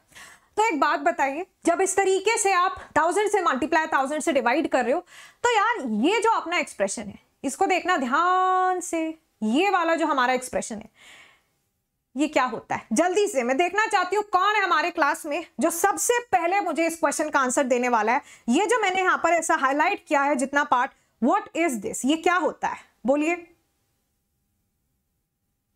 बोलो यार, बोलो, फटाफट। हाँ जी दिस इज़ मोलैलिटी ये हमारा कॉन्सेंट्रेशन टर्म है। कौन सा कॉन्सेंट्रेशन टर्म मोलैलिटी तो यहाँ पर मैं क्या लिख सकती हूँ? स्मॉल एम लिख सकती हूँ यार, है ना? ये मोलैलिटी ही तो है। तो हम यहाँ पर क्या लिख सकते हैं? मोलालिटी क्या होता है? Number of moles of solute particle divided by the weight of solvent in KG and अगर आपका वेट ऑफ़ सॉल्वेंट ग्राम्स में है, ओए होए ओए होए, रुक जाओ रुक जाओ रुक जाओ। वेट ऑफ़ सॉल्वेंट ग्राम्स में तो हम थाउज़ेंड से ऊपर मल्टीप्लाई करते हैं। तो एक्चुअली आपने ना जो हाईलाइट करना है that has to be this thing ding ding डिंग डिंग ये होगा, है ना? ये होगा ना यार। तो दिस इज़ वॉट मोलैलिटी तो यहाँ पर आप क्या लिख देंगे कि यार, ये तो मोलैलिटी हो गया अपना। मल्टीप्लाई कर दो इसको जो बचा है उसके साथ। यानी कि molar mass of solvent divided by thousand divided by thousand ting ting ting है ना? आ गया। आहा। अब मोलर मास किसमें आएगा? ग्राम्स में निकल कर आएगा। यहाँ पर ये स्मॉल एम किसके लिए स्टैंड कर रहा है? बताइए, मोलालिटी के लिए। What is capital M capital M represents the capital M represents the molar mass of your solvent capital M यहाँ पर क्या रिप्रेजेंट कर रहा है? Molar mass of molar mass of solvent of solvent बस, ऐसा ही क्वेश्चन आता है, ऐसा सिंपल सिंपल अब इसका मतलब हम क्या कह सकते हैं? कि मैम जो हमारा relative lowering of vapour pressure होता है ना which is P naught minus pressure of solution divided by P naught के इक्वल जिसका expression mole fraction of solute के इक्वल आता है, जिसको फर्दर सिंप्लीफाई किया जाए तो number of moles of solute by number of moles of solvent के इक्वल आता है। उसका एक दूसरा एक्सप्रेशन ये भी है, क्या? Molality multiplied by molar mass of solvent molar mass of solvent और यहाँ पर आप क्या कर देंगे? डिवाइड कर देंगे। थाउज़ेंड से अगर मोलर मास आपका ग्राम्स में आ रहा है। एक और एक्सप्रेशन हमारे सामने आ गया। मैंने आपको यार पूरा एकदम डिटेल में एकदम इलेबोरेट कर कर बताया। And this is the reason कि मैं सॉल्यूशंस जैसे चैप्टर के लिए फोर्थ लेक्चर कंडक्ट कर रही हूँ, क्योंकि ये बहुत इंपॉर्टेंट है। लास्ट टाइम भी मैं नहीं चाहती थी कि ऐसा हम लोग बहुत जल्दी जल्दी इसको कवर कर ले और आप सही कॉन्सेप्ट नहीं बिल्ड कर पाए, है ना? क्योंकि ऑलरेडी काफ़ी टाइम हो गया था सेशन में। आगे का पार्ट आज के सेशन का बहुत आसान है। Van't Hoff factor very very easy उसमें छोटी छोटी बातें आपने ध्यान रखनी है। फिर हेनरीज लॉ तो बहुत ईजी है फाइव मिनट्स में फिनिश हो जाएगा यार। लेकिन क्वालिटेटिव प्रॉपर्टीज़ पर हम पूरे एफर्ट्स आई मीन हम अपना पूरा टाइम इन्वेस्ट करेंगे, पूरी मेहनत करेंगे, क्योंकि यहाँ से पक्का क्वेश्चन आएगा, है ना? तो कभी कभी जब हम चैप्टर का एंड अप्रोच करते हैं तो वी बिकम लेजी या फिर हमें ऐसा लगता है, यार, ये कब फिनिश होगा? बट देन ध्यान रखिए क्वेश्चन यहाँ से तो 110 परसेंट आने ही वाला है। इसीलिए मैं पूरा एक्सप्लेन कर रही हूँ, कहीं आपको लर्न नहीं करना पड़े, कोई मुश्किल नहीं आए कंफ्यूजन नहीं हो। मैंने पूरा एक्सप्लेन किया यार, है ना? और आप जानते हैं कि अभी आपको ऐसा जल्दी से कहीं नहीं मिलेगा। हर जगह आपको ऐसा one day one chapter one shot मिल रहा है। अब वन शॉट में इतनी देर में आपको ये बात अच्छे से क्लियर हो पाई है ना? अब बताओ, ऐसे अगर मैं वन डे वन चैप्टर करा दूँगी तो इतना डिटेल में इलाबोरेशन हो सकता है? नहीं। कॉन्सेप्ट बिल्ड हो पाएगा? नहीं। क्वेश्चन क्रैक करने की प्रोबेबिलिटी वेरी लेस तो इस बात को समझिए कि टाइम के अकॉर्डिंग हमेशा हमें, हमारे एक्शन होने चाहिए। तो अभी we are on perfect pace और मैंने आपके साथ प्लान भी डिस्कस किया है। और यार अकॉर्डिंग टू द प्लान मैंने जानबूझकर हैवी हैवी यूनिट सारे जनवरी में फिनिश करा देने। तो फिर जो बचेगा वो इजी यूनिट्स बचेंगे। As we'll approach the next month which is February आसान आसान इजी इजी यूनिट्स होंगे। लाइफ में बड़ा अच्छा फील होगा, क्योंकि आसान चीज़ें रहती होंगी जो दो या मैक्सिमम थ्री डेज़ में एक यूनिट फिनिश हो जाएगा। ठीक है? परफेक्ट तो सेशन में टाइम लग रहा है। लेकिन रिवाइज करने में आई एम श्योर आपको नहीं लगेगा। सेशन एक एक्स्ट्रा हो रहा है। बट क्वेश्चन आप ज़रूर क्रैक कर पाएँगे और ऐसा इरिटेटेड फील नहीं करोगे कि यार पढ़ने के बाद भी नहीं हो रहा लेक्चर देख लिया, फिर भी नहीं हो रहा, है ना? तो वही, वो ज़्यादा इंपॉर्टेंट है। ठीक है यार तो यहाँ से हमारे पास ये एक्सप्रेशन आ गया। आकांक्षा कर्णवाल टेलीग्राम पर ढूंढिएगा। दिस इज़ मेरे नेम का स्पेलिंग है ना? तो अगर आपकी ये मैम से पहली पहली बार मुलाकात हो रही है यहाँ पर आज यूट्यूब पर तो आई एम आकांक्षा मेरे पूरे नेम का स्पेलिंग आपको डिस्क्रिप्शन बॉक्स में मिलेगा। आप मुझे ढूंढ सकते हैं टेलीग्राम पर अन अकेडमी पर। मेरी जितनी क्लासेस होती हैं वेदर ऑन यूट्यूब प्लस पर स्पेशल पर, सब क्लासेस का लिंक उनके हैंड उनके आई मीन नोट्स पीडीएफ सब कुछ, सारा का सारा स्टडी मटेरियल आपको वहीं मिलता है। तो मेक श्योर sure आपने मुझे वहाँ पर ज्वाइन किया है। और ये देखिए, यहाँ पर ये पूरा का पूरा जो हमने पढ़ा है, उसका समरी हमारे सामने लिखा हुआ है राइट है? आगे बढ़ते हैं। अभी यार क्वेश्चन हम इसके ऊपर डिस्कस करेंगे। Tomorrow in the special class but I believe एक क्वेश्चन तो हम लोग को कर लेना चाहिए, है ना? जल्दी से बताओ यार, क्या ख्याल है आपका? क्वेश्चन कर ले इसके ऊपर बेस्ड एक, है ना? So let me quickly give you one question और आपको ना आइडिया लग जाएगा कि क्वेश्चन यहाँ से किस तरीके से पूछा जाता है। At the same time what should be the right approach so that आप क्वेश्चन को जल्दी से जल्दी सॉल्व कर पाए, है ना? बोलिए रेडी अरे मैम हम फुल रेडी हैं। ये एक्सप्रेशन लिख लीजिए अगर आपने नहीं लिखा है और आई होप कि लर्न करने जैसा तो कुछ नहीं ही बचा है, आप समझ गए हैं अच्छे से, है ना? ठीक है यार। तो देखो क्वेश्चन क्या कहता है? देर इज़ अ क्वेश्चन पता नहीं स्लाइड कैसे मिस हो गया क्वेश्चन वाला बट देन कोई बात नहीं। देर इज़ अ क्वेश्चन कह रहे हैं कि यार the R L VP the relative lowering of vapor pressure is proportional to, is proportional to. I would want to see कौन मुझे सबसे पहले इसका राइट right आंसर दे रहा है। देखिए, अभी तो आपने सिर्फ़, अभी तो जस्ट सीखा ही है है ना? फिर भी आई एम श्योर आप इसका बिल्कुल करेक्ट आंसर देने वाले हैं। रेशियो ऑफ़ नंबर ऑफ़ बताइए what will be the correct option अभी तो तुम्हारा मतलब ऐसा ऑलरेडी दिमाग चल चुका है और आपके मन में शायद आंसर है भी, है ना? तो मैं आपको दो ही ऑप्शन देने वाली हूँ। क्योंकि यार, अभी दिस इज़ काफ़ी आसान, क्योंकि मैंने आपको पूरा पूरा एक्सप्लेन कर दिया है। Solute molecules to solvent molecules या फिर सेकेंड ऑप्शन आपको कहता है option B solvent molecules solvent molecules to solute molecules to solute molecules बताइए what will be the correct option या come on quickly lock your answer और lock कहने की आदत हो गई है, वो पोल कंडक्ट करते हैं ना हम स्पेशल क्लास पर। But anyways come on quickly बताएँगे what will be the correct option मैं जानती हूँ आप सबके मन में है एक ही बात, और वो ये कि यार ma'am option A will be the right option क्योंकि अभी तो हमने सीखा number of moles of solute by number of moles of solvent particle है ना? चलिए। फिर नेक्स्ट मैं आपको एक क्वेश्चन दे रही हूँ। This is your homework question जिसका आप मुझे आंसर बताएँगे इन दी स्पेशल क्लास कल आपकी जो होगी थ्री पीएम जिसका लिंक यहाँ पेन हुआ है। वहाँ मैं इसका डिटेल डिस्कशन भी करने वाली हूँ। इनकेस आप लाइव नहीं देख पाते रिकॉर्डेड भी देख सकते हैं। छोटा सा काम करना है अन अकेडमी ऐप डाउनलोड करना है कोड यूज़ करना है ए लाइव और एंट्री कर लेनी है क्लास में ऑल फॉर फ्री ठीक है? उधर इसका डिटेल सोल्यूशन डिस्कस होगा। हालाँकि मैं हिंट आपको दे दूँगी अभी। देखो, लिखा है कि आपके पास एक प्योर लिक्विड है एक्स प्योर लिक्विड एक्स का आ, जो प्रेशर है प्योर का pressure obviously P naught X वही रिप्रेजेंट करता है। That is two A T M at three hundred kelvin right at three hundred kelvin एक लिक्विड एक्स का प्योर प्रेशर कितना है? थ्री हंड्रेड केल्विन है। फिर बोल रहे हैं कि यार it is lowered it is lowered to one A T M to one A T M on dissolving on dissolving one gram Y. समझ आया कुछ कुछ? एक प्योर लिक्विड था उसका इतना वेपर प्रेशर आया लेकिन फिर उसमें तुमने एक वाई ऐड कर दिया वन ग्राम और फिर उसकी वेपर प्रेशर की लोअरिंग हो गई। तो यहीं से समझ जाना क्या हुआ है। लोअरिंग ऑफ़ वेपर प्रेशर दिमाग में एकदम क्या आना चाहिए आपके? Relative lowering of vapour pressure वाला एक्सप्रेशन यहाँ यूज़ होने वाला है। अब देखिए वो आपसे क्या पूछना चाहते हैं। ऑफ़ uh, वाई लिखा है कि in twenty gram of liquid X अगर आपके पास 20 ग्राम लिक्विड एक्स था, उसमें हमने क्या किया? वन ग्राम वाई ऐड कर दिया और वेपर प्रेशर में लोअरिंग हो गया। तो आप हमें बताइए if the if molar mass if molar mass of X is 200 what is the molar mass of Y क्या पूछा है? मोलर मास ऑफ़ वाई पूछा है। बता देंगे आप लोग। सीधा सीधा एक्सप्रेशन में यार सारी की सारी वैल्यूज़ पुट करनी है। और ये आप खुद अटेम्प्ट करेंगे मोलर मास ऑफ़ वाई आप ध्यान रखो, यहाँ पर आपको एक्स क्या है? सॉल्वेंट सॉल्वेंट का मोलर मास दिया और आपने सॉल्यूट का मोलर मास फाइंड आउट करना है। केयरफुली क्वेश्चन अटेम्प्ट करेंगे। सीधा सीधा जो हमारा एक्सप्रेशन है, वो लास्ट एक्सप्रेशन है ना मोलालिटी वाला यार। वहाँ पर वैल्यूज़ पुट करनी है, आपने कुछ नहीं करना। देखो, मैं फॉर्मूला लिख रही हूँ, अब वैल्यूज़ खुद पुट कर देना। P naught by P I mean ओहो। क्या होता है यार? P naught minus pressure of solution divided by P naught है ना?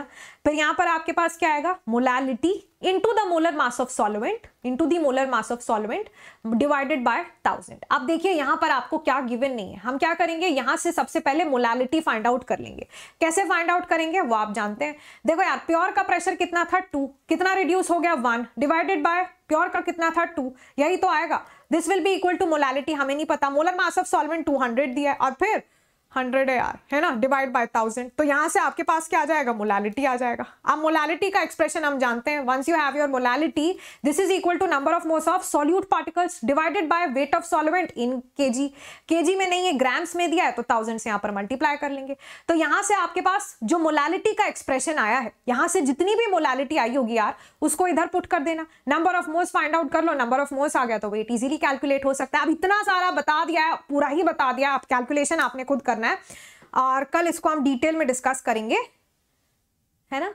इन दी स्पेशल क्लास बाकी कमेंट सेक्शन में आप आंसर बता देना मेरे को। चलो जी, आगे बढ़ते हैं। आगे बढ़ते हैं to the next colligative property तो देखो कॉलिगेटिव प्रॉपर्टी में ही टाइम लगने वाला है। बाकी तो सब बड़ा आसान है आज के सेशन में। एंड इनफैक्ट पहली ही कॉलिगेटिव प्रॉपर्टी थी, जिसमें इतना एलैबोरेशन रिक्वायर्ड था। अदरवाइज़ यहाँ पर ऐसा कोई सीन नहीं है। बहुत ईजी है बाकी कॉलिगेटिव प्रॉपर्टीज़ और उसी पर देखो सेकंड कॉलिगेटिव प्रॉपर्टी बड़ी आसान है, जो क्या कहती है? Elevation in boiling point elevation का मतलब क्या होता है? इंक्रीज होता है ना? तो इसका मतलब बॉइलिंग पॉइंट इंक्रीज हो गया यार। बॉइलिंग पॉइंट क्या हो गया? बढ़ गया राइट अच्छा एक बात बताओ। आपने क्या कहा था? आपने कहा था कि जब आप प्योर सॉल्वेंट में सॉल्यूट पार्टिकल्स ऐड कर रहे हो तो वेपर प्रेशर में लोअरिंग आ जाती है है ना हम क्या बोलते हैं कि यार जब हम एक नॉन वॉलेटाइल सॉल्यूट इंट्रोड्यूस करते हैं राइट right? जब हम उसके अंदर सॉल्यूशन आई मीन सॉल्वेंट में प्योर सॉल्वेंट में एक नॉन वॉलेटाइल सॉल्यूट इंट्रोड्यूस करते हैं तो वेपर प्रेशर में लोअरिंग आ जाती है तो यार एक बात बताओ वेपर प्रेशर और बॉइलिंग पॉइंट याद कीजिए सेकंड क्लास मैंने आपको एक रिलेशन बताया था कि आपके पास जो वेपर प्रेशर होता है that is inversely related to boiling point यानी कि आपका वेपर प्रेशर और बॉइलिंग पॉइंट में इनवर्स रिलेशन होता है. कहने का मतलब अगर वेपर प्रेशर में भाई लोअरिंग हो रही है तो बॉइलिंग पॉइंट तो इंक्रीज ही हो जाएगा कि नहीं? है ना? अगर वेपर प्रेशर कम हो रहा है बॉइलिंग पॉइंट विल इंक्रीज आहा तो बस यही तो लिखा इधर. देखो देखो देखो, क्या लिखा है? एलिवेशन इन बॉलिंग पॉइंट यार, अभी आपने बोला ना पीछे कि मैम वेपर प्रेशर कम हो जाता है। जब आप एक नॉन वॉलेटाइल सॉल्यूट डालते हो, क्योंकि वेपर कम बनती है, क्योंकि सरफेस पर सॉल्यूट आ जाता है और सॉल्यूट वेपर बनाता नहीं है तो आपका जो सोल्यूशन का प्रेशर है, वो कम हो जाता है। अगर प्रेशर कम हो रहा है vapour pressure since boiling point and vapour pressure में इनवर्स रिलेशन होता है, जिसको डिटेल में मैंने सेकेंड क्लास में एक्सप्लेन किया है, आप रेफर भी कर सकते हैं वो सेशन इसी वजह से यहाँ पर आप क्या कहोगे कि यार अगर हमारे पास ये जो है, ये आपका प्योर सॉल्वेंट का बॉइलिंग पॉइंट है है ना? इसको मैं टी नॉट बी बोल रही हूँ। टी नॉट बी क्यों बोल रही हूँ? क्योंकि ये मेरा प्योर सॉल्वेंट का बॉइलिंग पॉइंट है। तो नॉट क्या रिप्रेजेंट करता है? ये naught sign pure boiling point represent करता है ना? प्योर सॉल्वेंट का। तो ये आपका क्या हो जाएगा? इसको टीबी बोल दो? ट्यूबर के लॉसेज नहीं है ये, है ना? बॉइलिंग पॉइंट टी उसके सब्सक्रिप्ट में क्या आएगा? बी आ जाएगा, है ना? बस हो गया। टिंग टिंग टिंग है ना? कोई मुश्किल? तो यार, अब मेरे को एक बात तो बता दो। ये तो बता दो मेरे को कि मैम, यहाँ पर टी नॉट बी बड़ा होगा या टी बी बड़ा होगा? अगर आपने इस बात का गलत आंसर दिया ना, मैं सच बता रही हूँ, ये कैमरा है, आकांक्षा मैम है, तुम हो, और बस समझ जाओ, है ना? बोलिए। बोलो बोलो, कोई मुश्किल? यहाँ तक? नहीं नहीं, ऐसा कह दो। आंसर दीजिए जल्दी से। Come on quickly give me the right answer कि यहाँ पर आपके पास बड़ा वैल्यू कौन आएगा? टी नॉट बी ज़्यादा बड़ा है या फिर टी बी ज़्यादा बड़ा है? बता दीजिए। वाह वेरी गुड वेरी गुड शाबाश। यार, तुम लोग मतलब नाइस हाँ। मेरा मेरा ही असर है ऑब्वियसली तो मैं तो इसमें अपने आप को ही क्रेडिट देती हूँ एंटायरली क्योंकि आप आकांक्षा मैम के साथ केमिस्ट्री पढ़ने तो मतलब आपका आईक्यू तो बढ़ ही जाएगा। आप स्मार्ट तो हो ही जाएँगे। है ना? वेरी गुड वेरी गुड शाबाश। मतलब एक भी रॉन्ग आंसर मुझे दिख नहीं रहा है। बहुत अच्छे। तो देखो, आप कुछ भी लर्न नहीं कर रहे हो, आप तो खुद बता रहे हो, आपने पहले सीखा भी नहीं है है ना? Because you are using your brain तो मैं हमेशा कहती हूँ फ़िज़िकल केमिस्ट्री बहुत लॉजिकल है। आपको बस थोड़ा थोड़ा दिमाग लगाना है और फिर कुछ भी नहीं है। तो यहाँ पर ऑब्वियसली क्योंकि यार, आप बताओ ना प्योर का, आपके पास प्योर का क्या था? प्रेशर ज़्यादा था, है ना? प्योर का प्रेशर ज़्यादा था। राइट है अभी अभी हमने पीछे देखा। तो इसका मतलब यहाँ पर प्योर का बॉइलिंग पॉइंट कम होने वाला है। सॉल्यूशन का बॉइलिंग पॉइंट ज़्यादा होगा क्योंकि इनवर्स रिलेशन होता है। इसका मतलब यहाँ पर क्या हुआ है? बॉइलिंग पॉइंट में इंक्रीज हुआ है। बॉइलिंग पॉइंट में एलिवेशन हुआ है। दिस इज़ हाउ हम इसको क्या बोलते हैं? एलिवेशन इन बॉइलिंग पॉइंट क्योंकि बॉइलिंग पॉइंट बढ़ गया यार, है ना? बॉइलिंग पॉइंट में क्या देखने के लिए मिल रहा है? इंक्रीज क्या हुआ है यहाँ पर?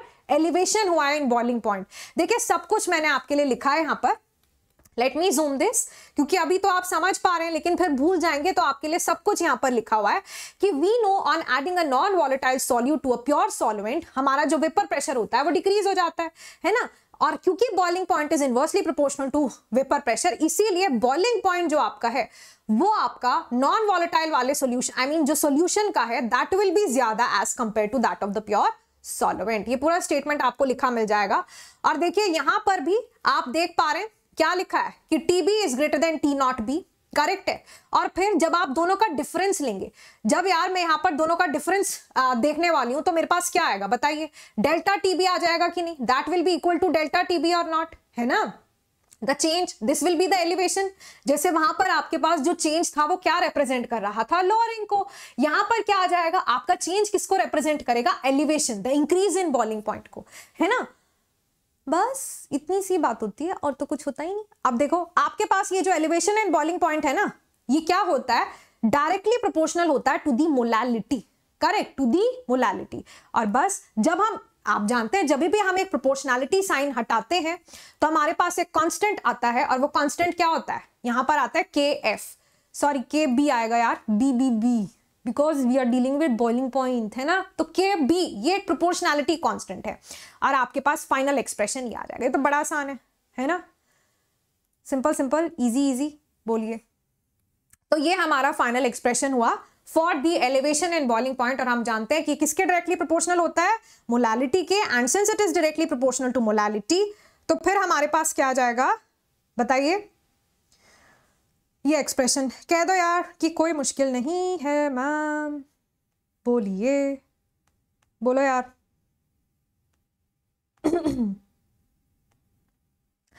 अच्छा कभी कभी किसी किसी को ऐसा कंफ्यूजन भी होता है कि यार मैम ये जो डेल्टा टी बी है ना, इसको मतलब हम कैसे लिखें?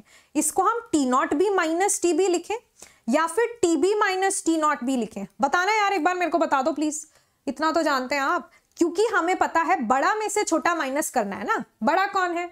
ओवरऑल वैल्यू पॉजिटिव आना चाहिए, बड़ा में से छोटा माइनस होता है। तो बड़ा कौन है? टी बी बड़ा है। माइनस टी नॉट बी होगा, है ना? तो मैंने लिखा नहीं, कहीं आप समझ ही नहीं पाए, है ना? तो delta T B represents the boiling point of solution minus the boiling point of pure solvent and this will be equal to K B M cool है यार? अब देखो यार, ये जो के बी है ना के बी के बी के बी देखो, ये के बी क्या होता है? Molal elevation constant. क्या बोलते हैं इसको? मोलल एलिवेशन, ये पता होना चाहिए आपको। देखो, एलिवेशन बॉइलिंग पॉइंट तो प्रॉपर्टी का ही नाम है। तो molal elevation constant is the name for this constant. I mean this is how we refer to this constant right और या फिर इसको इबलियोस्कोपिक कांस्टेंट भी बोलते हैं। ये देखो, इबालियोस्कोपिक नाम थोड़ा सा हैवी हैवी है, पर आप दो तीन बार पढ़ेंगे आपको ध्यान हो जाएगा। एक्चुअली इबालियोस्कोपी ना एक टेक्निक होती है। जो जिसका यहाँ पर कोई रेलिवेंस नहीं है आपके लिए। बट इब, इबालियोस्कोपी एक टेक्निक होती है तो इबालियोस्कोपी से इबालियोस्कोपिक कांस्टेंट ये नाम आता है, ठीक है?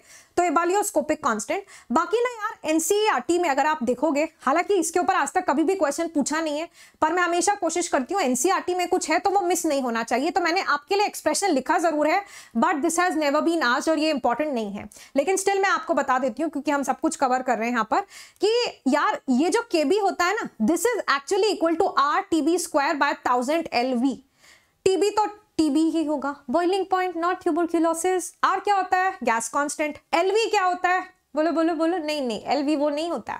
एलवी यहाँ पर स्टैंड करता है for latent heat of vaporization LV stand for latent heat of vaporization जिसको आप थर्मोडायनेमिक्स में भी सीखेंगे। और एलवी एक्चुअली और कुछ नहीं होता। That is equal to enthalpy by molar mass यानी कि जिसका भी आप लेटेंट हीट फाइंड आउट कर रहे हो, जिस भी सोल्यूशन का, उसका एंथैल्पी डिवाइडेड बाय उसका मोलर मास तो this is how you define your this K B है ना? हालाँकि नॉट वेरी इंपॉर्टेंट कभी भी पूछा नहीं है ऐसा कुछ भी, पर मैंने आपके नोट्स में डाल दिया यार। ठीक है, आगे बढ़ते हैं। अच्छा यार, मेरे को एक बात बताओ।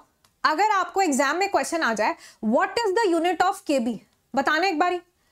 और यूनिट ऑफ़ केबी के लिए बिल्कुल भी आपको केबी का फॉर्मूला पता नहीं होना चाहिए। कहीं तुम सोचो, अभी तो मैम बोल रही थी कि इंपॉर्टेंट नहीं, आप पूछ रही है यूनिट ऑफ़ केबी अरे यार, देखो ना, आपके पास क्या होता है? Delta TB is equal to K B M होता है कि नहीं?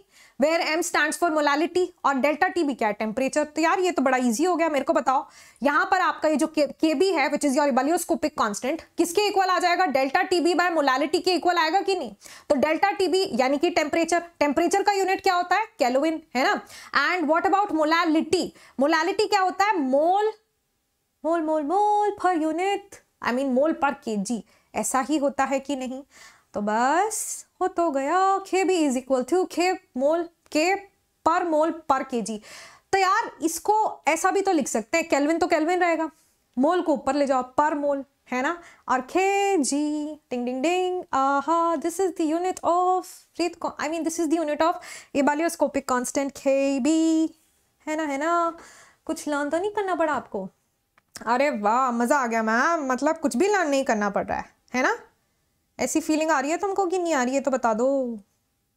बिल्कुल बिल्कुल मैम बिल्कुल आ रही है। है ना? देखो, मैं खुद ही अज्यूम कर रही हूँ। क्योंकि मुझे लगता है आनी चाहिए। बताइए। वेरी गुड परफेक्ट हम आगे बढ़ते हैं। तो देखिए यहीं से अभी हमारे पास ये फाइनल कॉलिगेटिव प्रॉपर्टी आ चुकी है, जहाँ हम जानते हैं that delta T B is equal to K B M और फिर यार, अब ये मत कहना कि मोलालिटी नहीं पता हमें क्या होता है। अब मोलालिटी की जगह तुम ऐसा तो लिख ही सकते हो कि number of moles of solute divided by weight of solvent है ना यार? और यहाँ पर अगर ये ग्राम्स में है तो यार यहाँ पर आपके पास थाउज़ेंड से मल्टीप्लाई हो जाता है। अब अगर क्वेश्चन में वो आपसे you know molar mass of solute calculate करा लें। वो पूछ लें, आपको बताओ मोलर मास ऑफ़ सॉल्यूट क्या है? तो कर देंगे आपकी नहीं कर पाएँगे? हाँ जी, कर देंगे। क्योंकि मैम ये भी आपको ध्यान रखना है कि number of moles of solute जो होते हैं this is equal to molar mass of I mean the given mass of solute divided by the molar mass of solute obviously अगर हम मोल्स ऑफ़ सॉल्यूट की बात करें तो given mass of solute divided by the moles of solute आइए question देखते हैं। Question question ये रहा। देखिए क्वेश्चन क्या कहता है कि अ सोल्यूशन जूम करें तो कैसा लगेगा? नहीं नहीं अच्छा नहीं लगेगा। आइए, ऐसे ही पढ़ लो। देखो यार क्वेश्चन कहता है कि a solution containing 12.5 gram non electrolyte substance in 185 gram of water shows boiling point elevation of 0.80 kelvin calculate the molar mass of the substance अगर आपका जो केबी है वो इतना है। समझ रहे हैं आप? यार, हमारे पास यहाँ पर जो केबी का वैल्यू है वो आपको इतना गिवन है। है ना यार? तो आप लिख लो पहले, जो जो गिवन है। मैंने हमेशा कहा है कि आप क्या करिए, सबसे पहले देखिए आपको फाइंड आउट क्या करना है। क्वेश्चन से हमें डायरेक्ट हिंट मिल रहा है। मतलब इससे ज़्यादा क्या बताएँगे वो? साफ़ समझ आ रहा है एलिवेशन इन बॉलिंग पॉइंट के ऊपर क्वेश्चन है। है ना? लिखा ही है उन्होंने बॉलिंग पॉइंट एलिवेशन हो रहा है बाय 0.80 इसका मतलब उन्होंने आपको डेल्टा टीबी दिया delta TB actually represents the elevation तो यहाँ पर delta T B is equal to zero point eight zero kelvin. फिर यार और क्या दिया गया आपको? मेरे को बताओ ये ट्वेल्व पॉइंट फाइव ग्राम क्या है? This is the molar mass of solute लिखा है ना non electrolyte solution in water है। तो हमारे पास आपका जो गिवन uh, मास है सॉल्यूट का वो कितना है यार? One two point five gram twelve point five gram.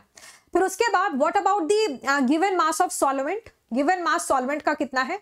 Solvent अपना वाटर है। वाटर वाटर एवरीवेयर 185 ग्राम, और फिर आपको के बी भी दिया है। अब और क्या चाहते हैं आप? सब कुछ तो दे दिया। अब क्या चाहते हो तुम? ये तो बता दो। तो देखो, अब यार, यहाँ पर आपके पास जो डेल्टा टी बी आएगा that is equal to K B M है ना? अब एक एक कर कर वैल्यू पुट कर लो। कर लो कर लो। एम मोलारिटी का एक्सप्रेशन एक्सपैंड करिए, और वहाँ से आप क्या कर सकते हो? You'll be able to find out the molar mass of the substance which is your solute question का आंसर वापस से आप मुझे बताएँगे in the chat section very good देखो some of the students are giving me the answer इसका मतलब उन्होंने कैलकुलेशन भी कर लिया। वेरी गुड बहुत बढ़िया। आगे बढ़े। तो देखिए एक्चुअली मैंने आपके लिए यहाँ पर कैलकुलेट कर कर रखा हुआ है। है ना? तो यार, ऐसे करना था। And the correct answer will be nine forty three point nine two four three point nine two आहा ठीक है? होए होए, बोलो यार। डन डन डन डन यार तुमने सबने सेशन लाइक किया है। देखो कंजूसी तो तुम फुल कर ही लेते हो है ना? Make sure each one of you has hit the like button नहीं करना है कंजूसी बिल्कुल भी अच्छी बात नहीं है।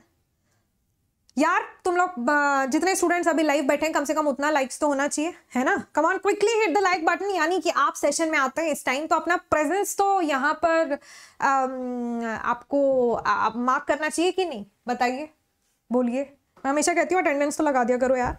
This is the only way we can interact on YouTube through likes through comments through the live chat this is how you can actually interact with me right तो मैं आपको देख नहीं सकती हूँ, पर ये सब तो देख सकती हूँ कि नहीं। तो आपको नहीं लगता है कि ये जो एक मीडियम है, आकांक्षा मैम तक पहुँचने का, या जिस भी टीचर से आप पढ़ रहे हैं, इसको हमें पूरा, इसमें आपका पूरा भरपूर योगदान होना चाहिए। है ना है ना? चलिए, आगे बढ़ते हैं। नेक्स्ट हमारे पास आता है the third colligative property which is the depression which is depression in freezing point क्या आता है यार?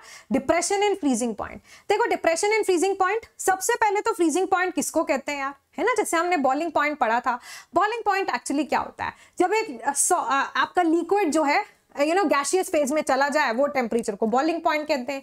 बट एक्चुअली मैंने आपको बताया था कि ये तो कोई भी बता देगा, है ना? ये तो आप किसी से भी पूछ लो, कोई भी बता देगा, जिसको केमिस्ट्री नहीं आता है, वो भी बता सकता है। बट जब हम केमिस्ट्री जानते हैं तो हम क्या कहते हैं? बॉइलिंग पॉइंट वो टेम्परेचर है जहाँ पर vapour pressure becomes equal to the external pressure right तो अब आप मुझे एक बात बताइए। इसी तरीके से जब आप फ्रीजिंग पॉइंट को डिफाइन करते हो ना यार तो हम क्या कहते हैं कि फ्रीजिंग पॉइंट वो टेम्परेचर है जहाँ पर आपका vapour pressure of the liquid becomes equal to the vapour pressure of solid जहाँ पर आपका सॉलिड का वेपर प्रेशर ये देखो दोनों जगह लिक्विड लिखा है यार, जहाँ पर आपका सॉलिड का वेपर प्रेशर लिक्विड के इक्वल हो जाए, उसको हम क्या कहते हैं? फ्रीजिंग पॉइंट कहते हैं। अभी ऑब्वियस सी बात है कि आपका अगर बॉइलिंग पॉइंट में एलिवेशन हुआ है है ना? तो फ्रीजिंग पॉइंट में क्या होगा? डिप्रेशन आएगा। तो ध्यान रखना कि और वैसे भी प्रॉपर्टी क्या कह रही अगर आपको कुछ भी नहीं आता लेट मी जस्ट अज्यूम कि आपको तो कुछ पता ही नहीं है है ना? तुम, तुम्हारा दिमाग चल ही नहीं पा रहा है। तो भी प्रॉपर्टी का नाम क्या है? प्रॉपर्टी क्या कहती है मेरे को बताओ? Depression in freezing point depression में इंक्रीज तो नहीं होगा डिक्रीज ही होगा. डिप्रेशन से क्या समझ आ रहा है? डिक्रीज हो रहा है. जैसे एलिवेशन था एलिवेशन का एग्जैक्ट ऑपोजिट क्या हो जाता है? डिप्रेशन तो डिप्रेशन इन फ्रीजिंग पॉइंट है ना? डिप्रेशन इन फ्रीजिंग पॉइंट क्या हो रहा है? फ्रीजिंग पॉइंट कम हो रहा है. हुए हुए हाँ जी. तो फिर कितना डिप्रेशन होगा? बताइए. अब ये तो वैसा ही हो गया ना, जैसे आपका लोअरिंग एंड वेपर प्रेशर था। जब लोअरिंग एंड वेपर प्रेशर होता है तो वहाँ पर क्या था कि प्योर का ज़्यादा है और फिर कम हो गया। तो यहाँ भी क्या होगा कि प्योर सॉल्वेंट का जो आपका फ्रीजिंग पॉइंट है, वो ज़्यादा है और फिर आपका कम हो जाएगा when you add the non volatile solute तो आपके पास T not F minus T F आ जाएगा। And this is your depression in freezing point this is delta T F बिल्कुल सेम जैसे आपने वेपर प्रेशर वाली बात की थी ना यार, क्योंकि वेपर प्रेशर भी कम ही होता है। और यहाँ आपका डिप्रेशन ही आ रहा है फ्रीजिंग पॉइंट में, यानी कि फ्रीजिंग पॉइंट भी हमारा कम ही हो रहा है। बोलिए, है ना? अभी तो आप ध्यान रख पाएँगे कि नहीं? अब यार बिल्कुल सिंपल है, बिल्कुल जैसे आपने elevation in you know boiling point पढ़ा है, बिल्कुल उसी तरह आपने यहाँ पर भी सेम बिल्कुल अप्लाई करते चले जाना है। इसका मतलब डेल्टा टी एफ़ जो आप अभी जान चुके हैं T not F minus T F के इक्वल होता है। This is directly proportional to molality है ना? हम क्या कह सकते हैं कि आपका जो डेल्टा टी एफ़ है that is directly proportional to molality और जब हम आपका ये प्रोपोर्शनैलिटी साइन रिमूव करते हैं तो हमारे पास क्या आता है? के एफ़ आता है, ठीक है? K F multiplied by molality cool आहा, कोई मुश्किल? नो नो नो नो अब ये मत पूछना ma'am what is this small M M बोले तो? एम बोले तो मोलालिटी स्मॉल एम बोले तो मोलालिटी है ना? अच्छा यार फिर उसके बाद ये जो के एफ़ है obviously this is your proportionality constant जैसे हमने के बी को क्या कहा था?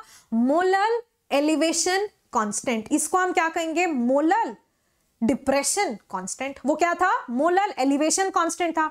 यहाँ डिक्रीज हो रहा है यार तो ये कांस्टेंट भी कैसा होगा? डिप्रेशन वाला होगा। तो मोलल डिप्रेशन कांस्टेंट या फिर जैसे हमने उसको क्या कहा था? Ebullioscopic constant. ऐसे ही हमारे पास एक टेक्निक होती है क्रायोस्कोपी। तो वहाँ से आपके पास निकल कर आता है क्रायोस्कोपिक। ओ एम जी इतना इतना हैवी वर्ड मैम हाँ जी तो आपको ध्यान रह जाएगा, लेकिन क्रायोस्कोपिक, क्राय क्राय करते हैं ना? क्राय वाला क्राय यो स्कोपिक है ना? तो this is cryoscopic constant. Also referred as cryoscopic constant.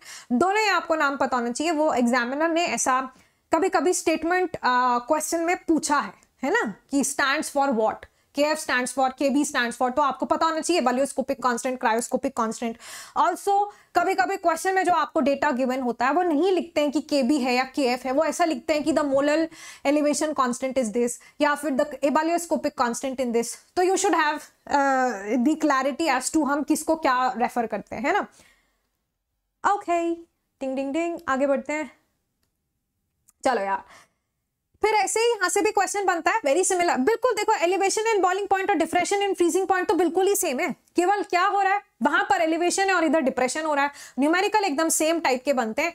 दोनों ही केसेस में मोस्टली आपसे मोलर मास ही कैलकुलेट कराएँगे। सॉल्यूट का मोलर मास कैलकुलेट कराते हैं। मैक्सिमम क्वेश्चन अगर आप देखेंगे प्रीवियस ईयर में हर बार वही पूछा गया, अगर क्वेश्चन एलिवेशन या फिर डिप्रेशन इन फ्रीजिंग पॉइंट से आया है।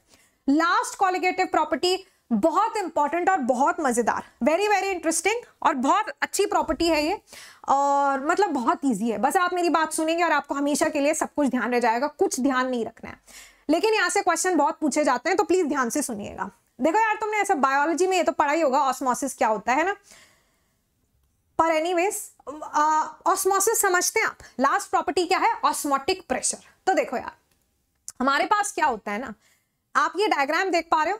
इधर देखिए पहले ये जो आपको the left side of this diagram यहाँ पर आपको क्या नज़र आ, ओए हो ये ज़्यादा ही जूम हो गया, है ना? ये लो। देखो, ये जो पिंक पिंक है ना पिंक पिंक पिंक कौन है मेरा? ये जो पिंक पिंक है, ये आपके सॉल्वेंट के पार्टिकल्स हैं। लेट मी से मैंने अगर वाटर लिया है तो ये वाटर के पार्टिकल्स है। कौन से वाले? पिंक वाले, है ना? सॉल्वेंट पार्टिकल्स हैं। और फिर उसके बाद purple however purple colour ही नहीं है मेरे पास। क्या करें? आप ऐसे ही समझ जाओ यार। ठीक है? ये जो पर्पल पर्पल है, यानी कि दूसरे साइड जो आपको पर्पल पार्टिकल्स दिख रहे हैं ना, वो आपके सॉल्यूट के पार्टिकल हैं। हम्म। अच्छा इतना तो आप समझते होंगे ना कि सॉल्यूट पार्टिकल्स हमेशा बड़े होते हैं as compared to solvent particles for example अगर मैं आपसे पूछती हूँ कि यार, मैंने ना एक सोल्यूशन बनाया है एन इन वाटर का। तो यहाँ पर मेरे को बताओ सॉल्यूट कौन है? सबको पता है? अब ये मत कहना, हमें नहीं पता। सॉल्यूट कौन है? NaCl है ना? This is your solute solvent कौन है? बताओ यार वाटर है। तो यहाँ पर किसके पार्टिकल्स बड़े होंगे? किसके मॉलिक्यूल्स बड़े होंगे? डेफिनेटली NaCl के मॉलिक्यूल्स बड़े होंगे। वैसे भी ये सॉलिड स्टेट में होता है और इसके छोटे रहे होंगे। तो यहाँ पर वही सेम चीज़ का पिक्टोरियल रिप्रेजेंटेशन है कि ये जो पिंक पिंक मॉलिक्यूल्स आपको दिख रहे हैं, वो सॉल्वेंट मॉलिक्यूल्स हैं, है ना? किसके पार्टिकल्स हैं? सॉल्वेंट के पार्टिकल्स हैं। Whereas on the other hand ये जो आप पर्पल uh, देख पा रहे हैं वो क्या है आपके? These are your solute particles right अभी देखिए आपको बीच में एक पार्टीशन दिख रहा है है ना? यहाँ पर हमने ऐसा पार्टीशन किया है देखो। टिंग डिंग डिंग डिंग डिंग ऐसा कुछ कुछ पार्टीशन है। लेकिन पार्टीशन में आप देख रहे हो छोटा छोटा गैप है बीच में है ना? आप देख पा रहे हैं ना कि छोटा छोटा गैप है ऐसा पार्टीशन में। इसको हम क्या बोलते हैं? Semi permeable membrane semi permeable membrane selective particles को ही अलाउ करती है टू पास थ्रू देम ये जानते हैं ना सेमी परमिएबल मेम्ब्रेन के साथ क्या सीन होता है? That it will allow only some particles और selective particles to pass through it तो सेमी परमिएबल मेम्ब्रेन हमारे पास है।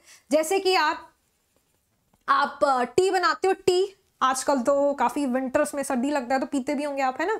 तो टी को फ़िल्टर करते हैं जब तो टी लीव्स आपका वो फ़िल्टर में, उसमें रह जाते हैं कि नहीं, है ना? और बाकी आपका जो टी है, वो स्ट्रेन आउट हो जाता है। तो यहाँ पर भी ऐसे ही है। तो वो टी क्या है? सॉल्वेंट पार्टिकल्स हैं, वो स्ट्रेन हो रहे हैं। बाकी जो आपके हैवी पार्टिकल्स हैं, वो सब रह जाते हैं। तो वो भी क्या है? साइज़ के बेसिस पर, वो भी एज अ परमिएबल मेम्ब्रेन ही तो बिहेव कर रहा है। तो सेमी परमिएबल मेम्ब्रेन क्या करता है? कुछ मॉलिक्यूल्स को अलाउ करेगा और बाकी को बाकी का फ्लो रेजिस्ट करता है uh, मतलब they can not pass through them तो यहाँ पर हमारे पास ये जो सेमी परमिएबल मेम्ब्रेन होता है ऑब्वियसली बात है क्योंकि सॉल्यूट सॉल्वेंट पार्टिकल्स क्योंकि सॉल्वेंट पार्टिकल्स छोटे हैं तो ये जो मेम्ब्रेन है ना इससे सिर्फ़ सॉल्वेंट पार्टिकल्स ही पास कर सकते क्या पास कर सकते हैं? सिर्फ़ और सिर्फ़ solvent particles can pass through them अच्छा यार मेरे को अब एक बात बताओ ये आपका सॉल्वेंट वाला साइड है। इधर तो प्योर सॉल्वेंट है। सबको दिख रहा है कि नहीं? मैम इधर सॉल्वेंट के अलावा कुछ है ही नहीं। तो इधर तो प्योर सॉल्वेंट है अपने पास। और ये हमारा सॉल्यूशन वाला साइड है। सॉल्यूशन क्यों? क्योंकि यार इसमें तुमने देखो कितना सारा नमक डाला हुआ है कि नहीं? यहाँ पर आपके पास सॉल्यूट पार्टिकल्स बहुत सारे हैं पर्पल पर्पल तो आप मुझे अभी थोड़ा सा सोचकर बताएँगे कि कॉन्सेंट्रेशन ऑफ़ सॉल्वेंट ज़्यादा किधर है? Concentration of solvent pure solvent वाले साइड ज़्यादा है या फिर सोल्यूशन साइड ज़्यादा है? इसको सॉल्यूशन लिख लो इधर, है ना? दिस इज़ योर सॉल्यूशन वाला साइड वेयर आप कहा कह सकते हैं कि आपके पास सॉल्वेंट का कॉन्सेंट्रेशन ज़्यादा है as compared to the concentration of you know the solute कौन से केस में? बताइए। यार, ये तो बड़ी सिंपल बात है। हाँ जी, बिल्कुल, ये तो कॉमन सेंस है, बहुत ही आसान। क्या कहेंगे आपकी मैम प्योर सॉल्वेंट में सॉल्वेंट ही है पूरा, और तो कुछ है ही नहीं। तो ऑब्वियसली सॉल्वेंट की कॉन्सेंट्रेशन तो इधर ही ज़्यादा होगी कि नहीं? Right right? तो बस ऑस्मोसिस को आप कैसे डिफाइन करते हैं? ऑस्मोसिस को हम कैसे डिफाइन कर सकते हैं कि जहाँ पर यार आपके जो सॉल्वेंट पार्टिकल्स हैं, देखिए मैंने लिखा होगा तो आपके लिए आसानी हो जाएगी। हाँ movement of solvent molecules from higher concentration to lower concentration through a semi permeable membrane यानी कि osmosis को मैं कैसे define कर सकती हूँ कि अगर मेरे solvent particles कौन ध्यान से ध्यान से देखिएगा solvent solute में पूरा definition change हो जाता है अगर मैं सॉल्वेंट के रिस्पेक्ट में ऑस्मोसिस की डेफिनेशन दे रही हूँ देखो ऑस्मोसिस को ना दो तरीके से डिफाइन किया जा सकता है पहला डेफिनेशन जो मैं आपको अभी बता रही हूँ कि मेरे सॉल्वेंट मॉलिक्यूल्स अगर फ्लो करते हैं फ्रॉम देयर हाई कॉन्सेंट्रेशन यानी कि सॉल्वेंट की high concentration high concentration to solvent की लोअर कॉन्सेंट्रेशन टू सॉल्वेंट की lower concentration ding ding ding तो फिर क्या होगा? ये जो होगा, उसको आप क्या कहेंगे? ऑस्मोसिस ठीक है?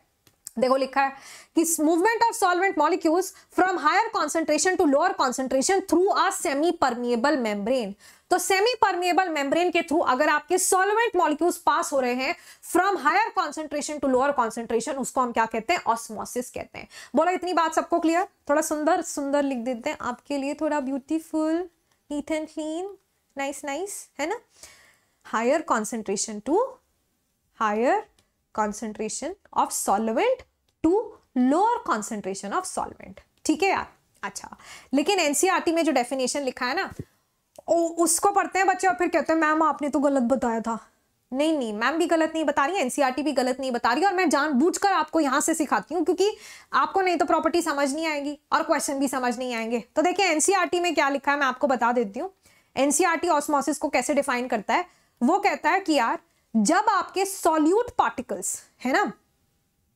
जब आपके बेसिकली वो मूवमेंट तो किसकी बताता है? सॉल्वेंट की ही बताता है। किसकी बताता है? मूवमेंट तो वो सॉल्वेंट की बताता है। जब आपके सॉल्वेंट पार्टिकल्स यानी सॉल्वेंट के मॉलिक्यूल्स मूव करेंगे from lower concentration to higher concentration अब ये तो दोनों ऑपोजिट बात हो गई कि नहीं? देखो यार, यहाँ पर क्या लिखा है?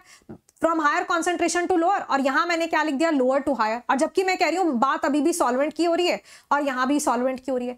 तो एक्चुअली वो क्या कहना चाहते हैं? From lower concentration of solute from lower concentration of solute to higher concentration of solute correct है? जहाँ सॉल्यूट की कॉन्सेंट्रेशन लोअर है अगर सॉल्वेंट पार्टिकल्स उधर से उठकर higher concentration of solute particles की तरफ़ जा रहे हैं तो उसको भी हम क्या कहेंगे? ऑस्मोसिस अगर थोड़ा सा दिमाग लगाओगे तो दोनों सेम ही तो बात हो गई यार, है ना? मेरे को बताओ, जहाँ पर आपके कॉन्सेंट्रेशन सॉल्यूट की कम होगी ऑब्वियसली बात है वहाँ सॉल्वेंट ज़्यादा होगा, है ना? तो मैं इसको क्या बोल सकती हूँ कि यहाँ पर आपकी हायर कॉन्सेंट्रेशन रही होगी किसकी? सॉल्वेंट की। यार ऐसा बोल सकते हैं कि नहीं, कि यहाँ सॉल्वेंट की ज़्यादा कॉन्सेंट्रेशन रही होगी। ऐसे ही हायर कॉन्सेंट्रेशन ऑफ़ सॉल्यूट को मैं क्या बोल सकती हूँ? कि यार यहाँ पर ज़्यादा कॉन्सेंट्रेशन रही होगी किसकी? बोलिए लो कॉन्सेंट्रेशन रही होगी। अगर सॉल्यूट भाई देखो सॉल्यूशन में दो ही चीज़ होती है, एक सॉल्यूट एक सॉल्वेंट अगर कॉन्सेंट्रेशन सॉल्यूट की ज़्यादा है तो ऑब्वियसली बात है कि यार यहाँ पर सॉल्वेंट फिर कम होगा। लोअर कॉन्सेंट्रेशन होगी सॉल्यूट सॉल्वेंट की, है ना? बोलिए इतनी बात आपको क्लियर है कि नहीं? बोलो यार। है ना? वेरी सिंपल यस मैम तो दोनों ही तरह से हम ऑस्मोसिस को डिफाइन कर सकते हैं। Movement of solvent particles from higher concentration of solvent to lower concentration of solvent or the movement of solvent particles from lower concentration of solute to higher concentration of solute. One and the same thing. अब जब भी statement questions आते हैं तो आपको बहुत carefully statement को read करना है। और अगर आप प्रोसेस समझते हैं तो आपको ऐसा कंफ्यूजन नहीं होगा। ठीक है? तो केयरफुली स्टेटमेंट को रीड करना है। हाई लो अगर तुम हाई लो हाई लो ऐसा एबीसीडी एबीसीडी लर्न कर कर जाते हैं ना, जैसे ऐसे कर कर जाओगे, गड़बड़ हो सकती है। क्योंकि ज़रूरी नहीं है हमेशा हाई टू लो ही हो।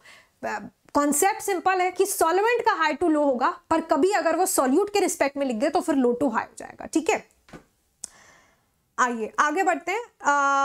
तो बेसिकली अब आप मुझे बताओ, यहाँ पर अगर मैं कह रही हूँ कि आपके जो सॉल्वेंट मॉलिक्यूल्स हैं, वो अपनी हायर कॉन्सेंट्रेशन से लोअर कॉन्सेंट्रेशन की तरफ़ जाएँगे।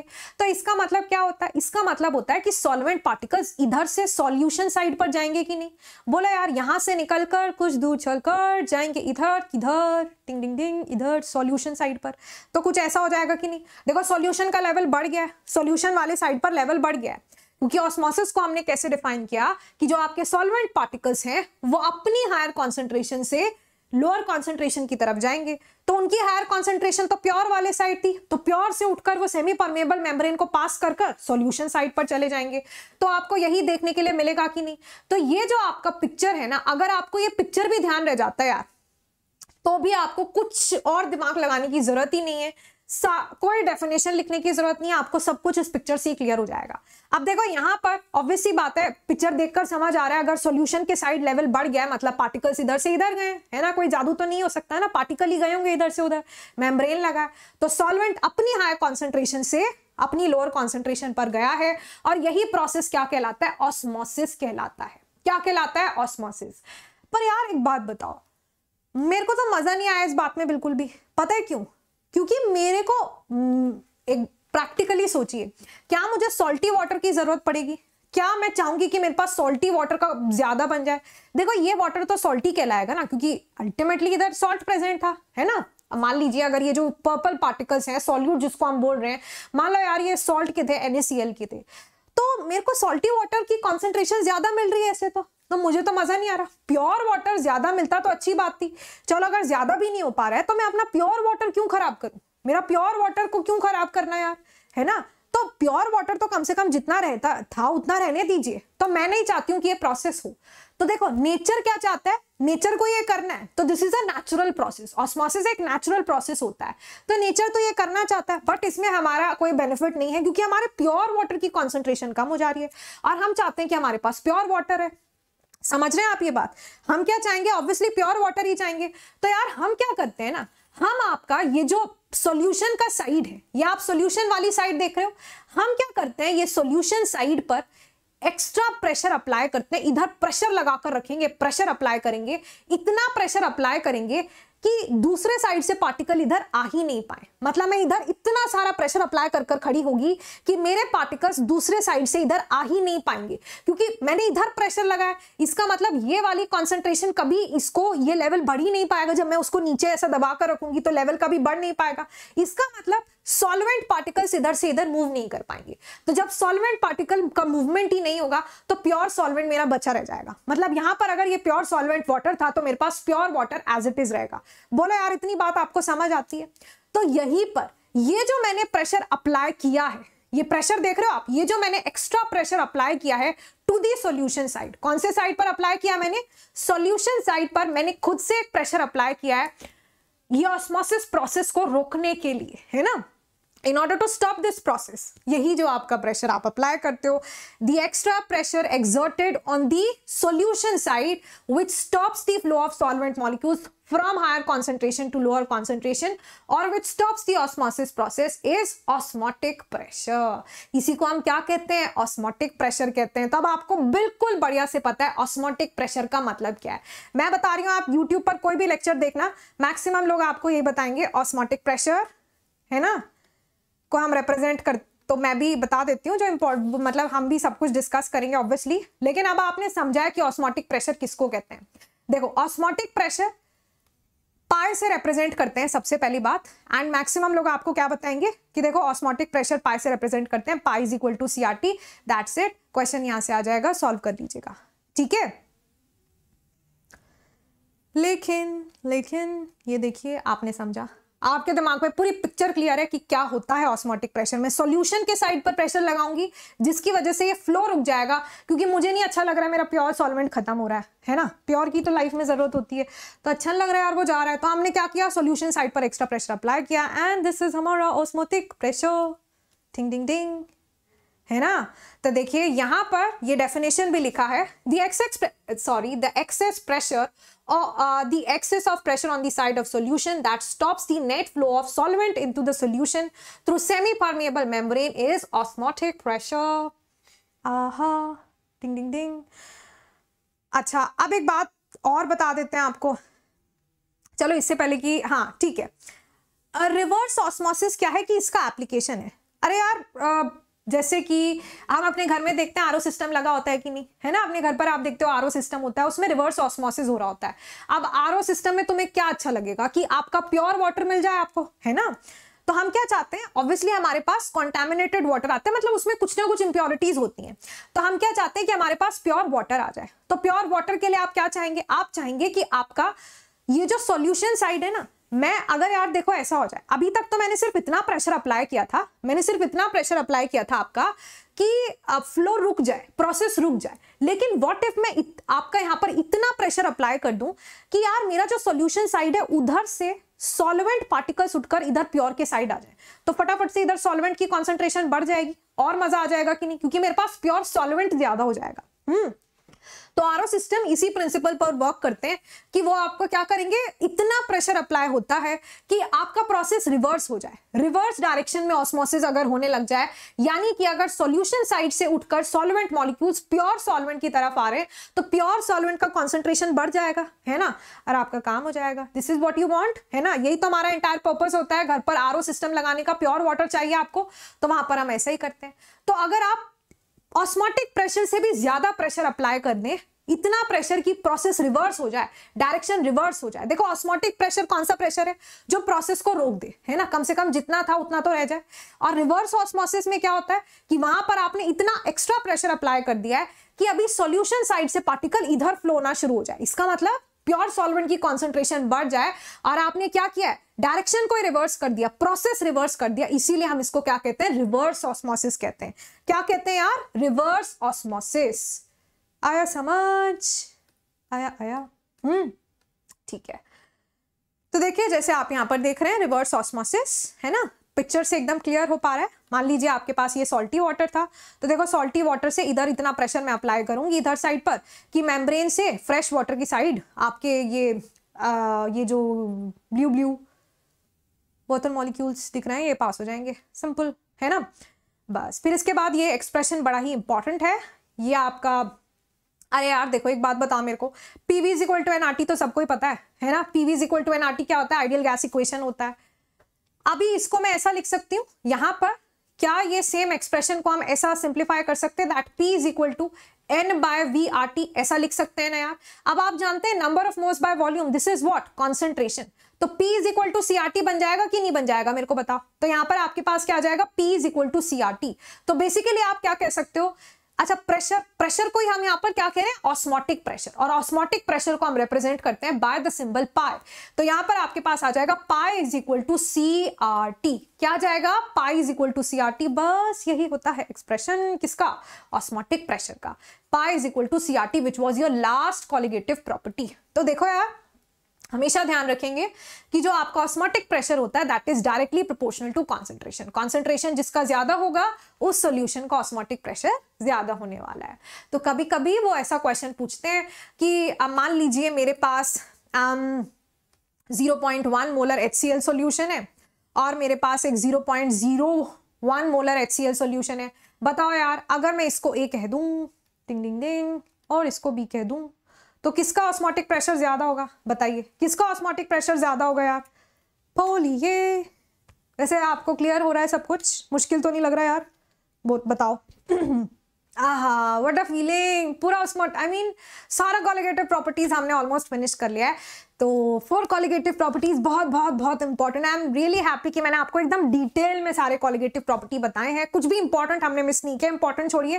मैंने पूरा एलैबोरेट कर कर बताया। And that was the purpose fourth session रखने का अदरवाइज़ ये आसानी से, अगर मुझे सिर्फ़ एक्सप्रेशन ही बताना होता, सिर्फ़ फॉर्मूला ही बताना होता तो ये लास्ट क्लास में बहुत आसानी से फिनिश हो जाता, है ना? वेरी गुड ऑप्शन है तो देखो, अभी तो आप आंसर भी एकदम करेक्ट करेक्ट दे रहे हैं। आप सब कुछ समझ गए हैं। वेरी गुड आर तो यार पता ही आपको आर क्या होता है? गैस कांस्टेंट है ना? ठीक है। फिर इसके बाद देखिए, हमें यहाँ पर कुछ टाइप्स ऑफ़ सॉल्यूशंस पढ़ने है ना? हमारे पास कुछ सॉल्यूशंस आते हैं। और वहाँ से ज़रूर क्वेश्चन आ जाते हैं। इनफैक्ट बोर्ड में तो बड़ा इंपॉर्टेंट है। बोर्ड में काफ़ी बारी यहाँ से मैंने देखा है क्वेश्चन आता है। काफ़ी बारी ऐसा बोलते हैं कि डिफ्रेंशिएट कीजिए, या फिर वन मार्क वाला वो जो क्वेश्चन आता है ना आजकल, वैसा क्वेश्चन भी आ जाता है इधर से। And that is on isotonic solutions हमारे पास ये डिफरेंट टाइप्स ऑफ़ सॉल्यूशंस होते हैं। एक होता है आइजोटोनिक फिर एक होते हैं हाइपरटोनिक क्या होते हैं? हाइपरटोनिक सॉल्यूशन और लास्ट हमारे पास होते हैं हाइपोटोनिक सॉल्यूशन इसको फटाफट फिनिश करते हैं हाइपोटोनिक सॉल्यूशन तो देखो यार मान लीजिए मेरे पास कोई एक रेफरेंस सॉल्यूशन है है ना? मान लीजिए मेरे पास एक रेफरेंस सॉल्यूशन है दिस uh, इज़ उसका मान लेट मी से कि वो मेरा सॉल्यूशन नंबर वन है है ना? हर केस में उसको मैं क्या बोल रही हूँ? सॉल्यूशन नंबर वन मतलब वो मेरा स्टैंडर्ड सॉल्यूशन है वो मेरा रेफरेंस है जिसके रिस्पेक्ट में मैं बाकी को कंपेयर करने वाली हूँ। तो जो मेरा सॉल्यूशन बना, अभी जो मैंने एक नया सॉल्यूशन बनाया, उसका ऑस्मोटिक प्रेशर और इसका osmotic pressure exactly same to same आया। तो जब ऐसे दोनों का ऑस्मोटिक प्रेशर सेम होता है, आइजो का मतलब होता है सेम अभी तो आपने बहुत केमिस्ट्री पढ़ लिया, आइजो का मतलब क्या होता है सेम तो आइसोटोनिक सॉल्यूशंस मतलब जहाँ पर दोनों ही सॉल्यूशन का ऑस्मोटिक प्रेशर एग्जैक्टली इक्वल है। तो वैसे सॉल्यूशंस को हम क्या कहते हैं? आइसोटोनिक सॉल्यूशंस कहते हैं राइट फिर ऐसे ही हाइपरटोनिक किसको बोलते हैं? हाइपर ऐसे बोलते हैं ना, यार, ये तो बहुत हाइपर है, इसका तो बड़ा हाइपर नेचर है। क्या होता है? जो जो ओवर रिएक्ट कर रहा है है ना? ओवर है ओवर हाइपर मतलब कुछ तो ज़्यादा ही है है ना? ओवर है राइट तो यहाँ पर भी ज़्यादा होगा, है ना? तो जहाँ पर आपके पास क्या होता है, आपका जो अगर सॉल्यूशन है, उसका अगर ऑस्मोटिक प्रेशर रेफरेंस से ज़्यादा आ रहा है मतलब जो आपने अभी नया सॉल्यूशन बनाया, अगर उसका प्रेशर आपका जो ओरिजिनली आपके पास सोल्यूशन था, उससे ज़्यादा आ रहा है तो फिर हम क्या कहते हैं? हाइपरटोनिक सोल्यूशन उसको क्या बोलते हैं? ज़्यादा है ना यार? तो उसको क्या बोलेंगे? हाइपरटोनिक फिर ऐसे हाइपोटोनिक का मतलब क्या होता है? देखिए हाइपो अब यार आइजो हो गया हाइपर हो गया इक्वल हो गया, ज़्यादा हो गया, अभी क्या होगा? कम होगा, है ना? मतलब जहाँ पर जो आपने सॉल्यूशन प्रिपेयर किया है, उसका ऑस्मोटिक प्रेशर अगर कम आ जाए तो फिर हम क्या कहते हैं कि यार ये तो आपके पास क्या हुआ? एक हाइपरटोनिक हाइपोटोनिक सॉल्यूशन का केस हुआ। बोलिए, इतनी बात आप लोग को क्लियर है? कह दो यस मैम है ना? बड़ी सिंपल बात होती है। अच्छा देखिए, क्योंकि pi is equal to CRT होता है, ये आपने अभी सीखा ना कि क्योंकि हमारे पास pi is equal to CRT होता है और देखो आर क्या है? एक कांस्टेंट ये तो आर तो गैस कांस्टेंट ही है है ना? ये सबको पता है 8.314 जूल पर केल्विन पर मोल या फिर 0.0821 लीटर एटीएम पर केल्विन पर मोल या फिर 0.0831 litre bar per kelvin per mole calories में two calorie per kelvin per mole ये सबको लर्न हो गया अभी की नहीं? जल्दी बताइए। अगर आप कंक्षा मैम के साथ पढ़ते हैं तो ये जो मैंने बोला है ना ये आपको भी लर्न होना चाहिए। पूरा इतना ध्यान हो जाना चाहिए बट कोई बात नहीं। अगर अभी तक नहीं पता आप, आपको तो इसका मतलब आपने मेरे साथ डिटेल सेशन अटेंड नहीं किए थे तो अभी हम आ, कुछ दिन में स्टेट्स ऑफ़ मैटर चैप्टर पढ़ेंगे। वहाँ पर मैं आपको पूरा ट्रिक दूँगी कि ये वैल्यूज़ कैसे ध्यान रखनी होती है। एनी वेज आर यहाँ पर गैस कांस्टेंट है जिसकी वैल्यू हमेशा फिक्सड होती है। और टेम्परेचर देखो मैंने जब एक सॉल्यूशन बनाया होगा तो उसके लिए तो टेम्परेचर फिक्स्ड ही होगा ना यार राइट तो अगर आर कांस्टेंट है टेम्परेचर फिक्स्ड है तो पाए सिर्फ़ और सिर्फ़ किस पर डिपेंड कर रहा है? Only on concentration that means osmotic pressure is directly proportional to concentration तो ये तीनों ही सोल्यूशन को मैं इन टर्म्स ऑफ़ कॉन्सेंट्रेशन भी डिफाइन कर सकती हूँ। यानी जहाँ जहाँ मैंने ऑस्मोटिक प्रेशर लिखा है ना यार, वहाँ वहाँ मैं कॉन्सेंट्रेशन भी लिख सकती हूँ। ठीक है? तो मैं इसको कॉन्सेंट्रेशन के टर्म्स में भी डिफाइन कर सकती हूँ। सी वन डिंग डिंग डिंग डिंग डिंग आहा ठीक है? कह दो यस मैम बोलो बोलो। बताइए है ना? परफेक्ट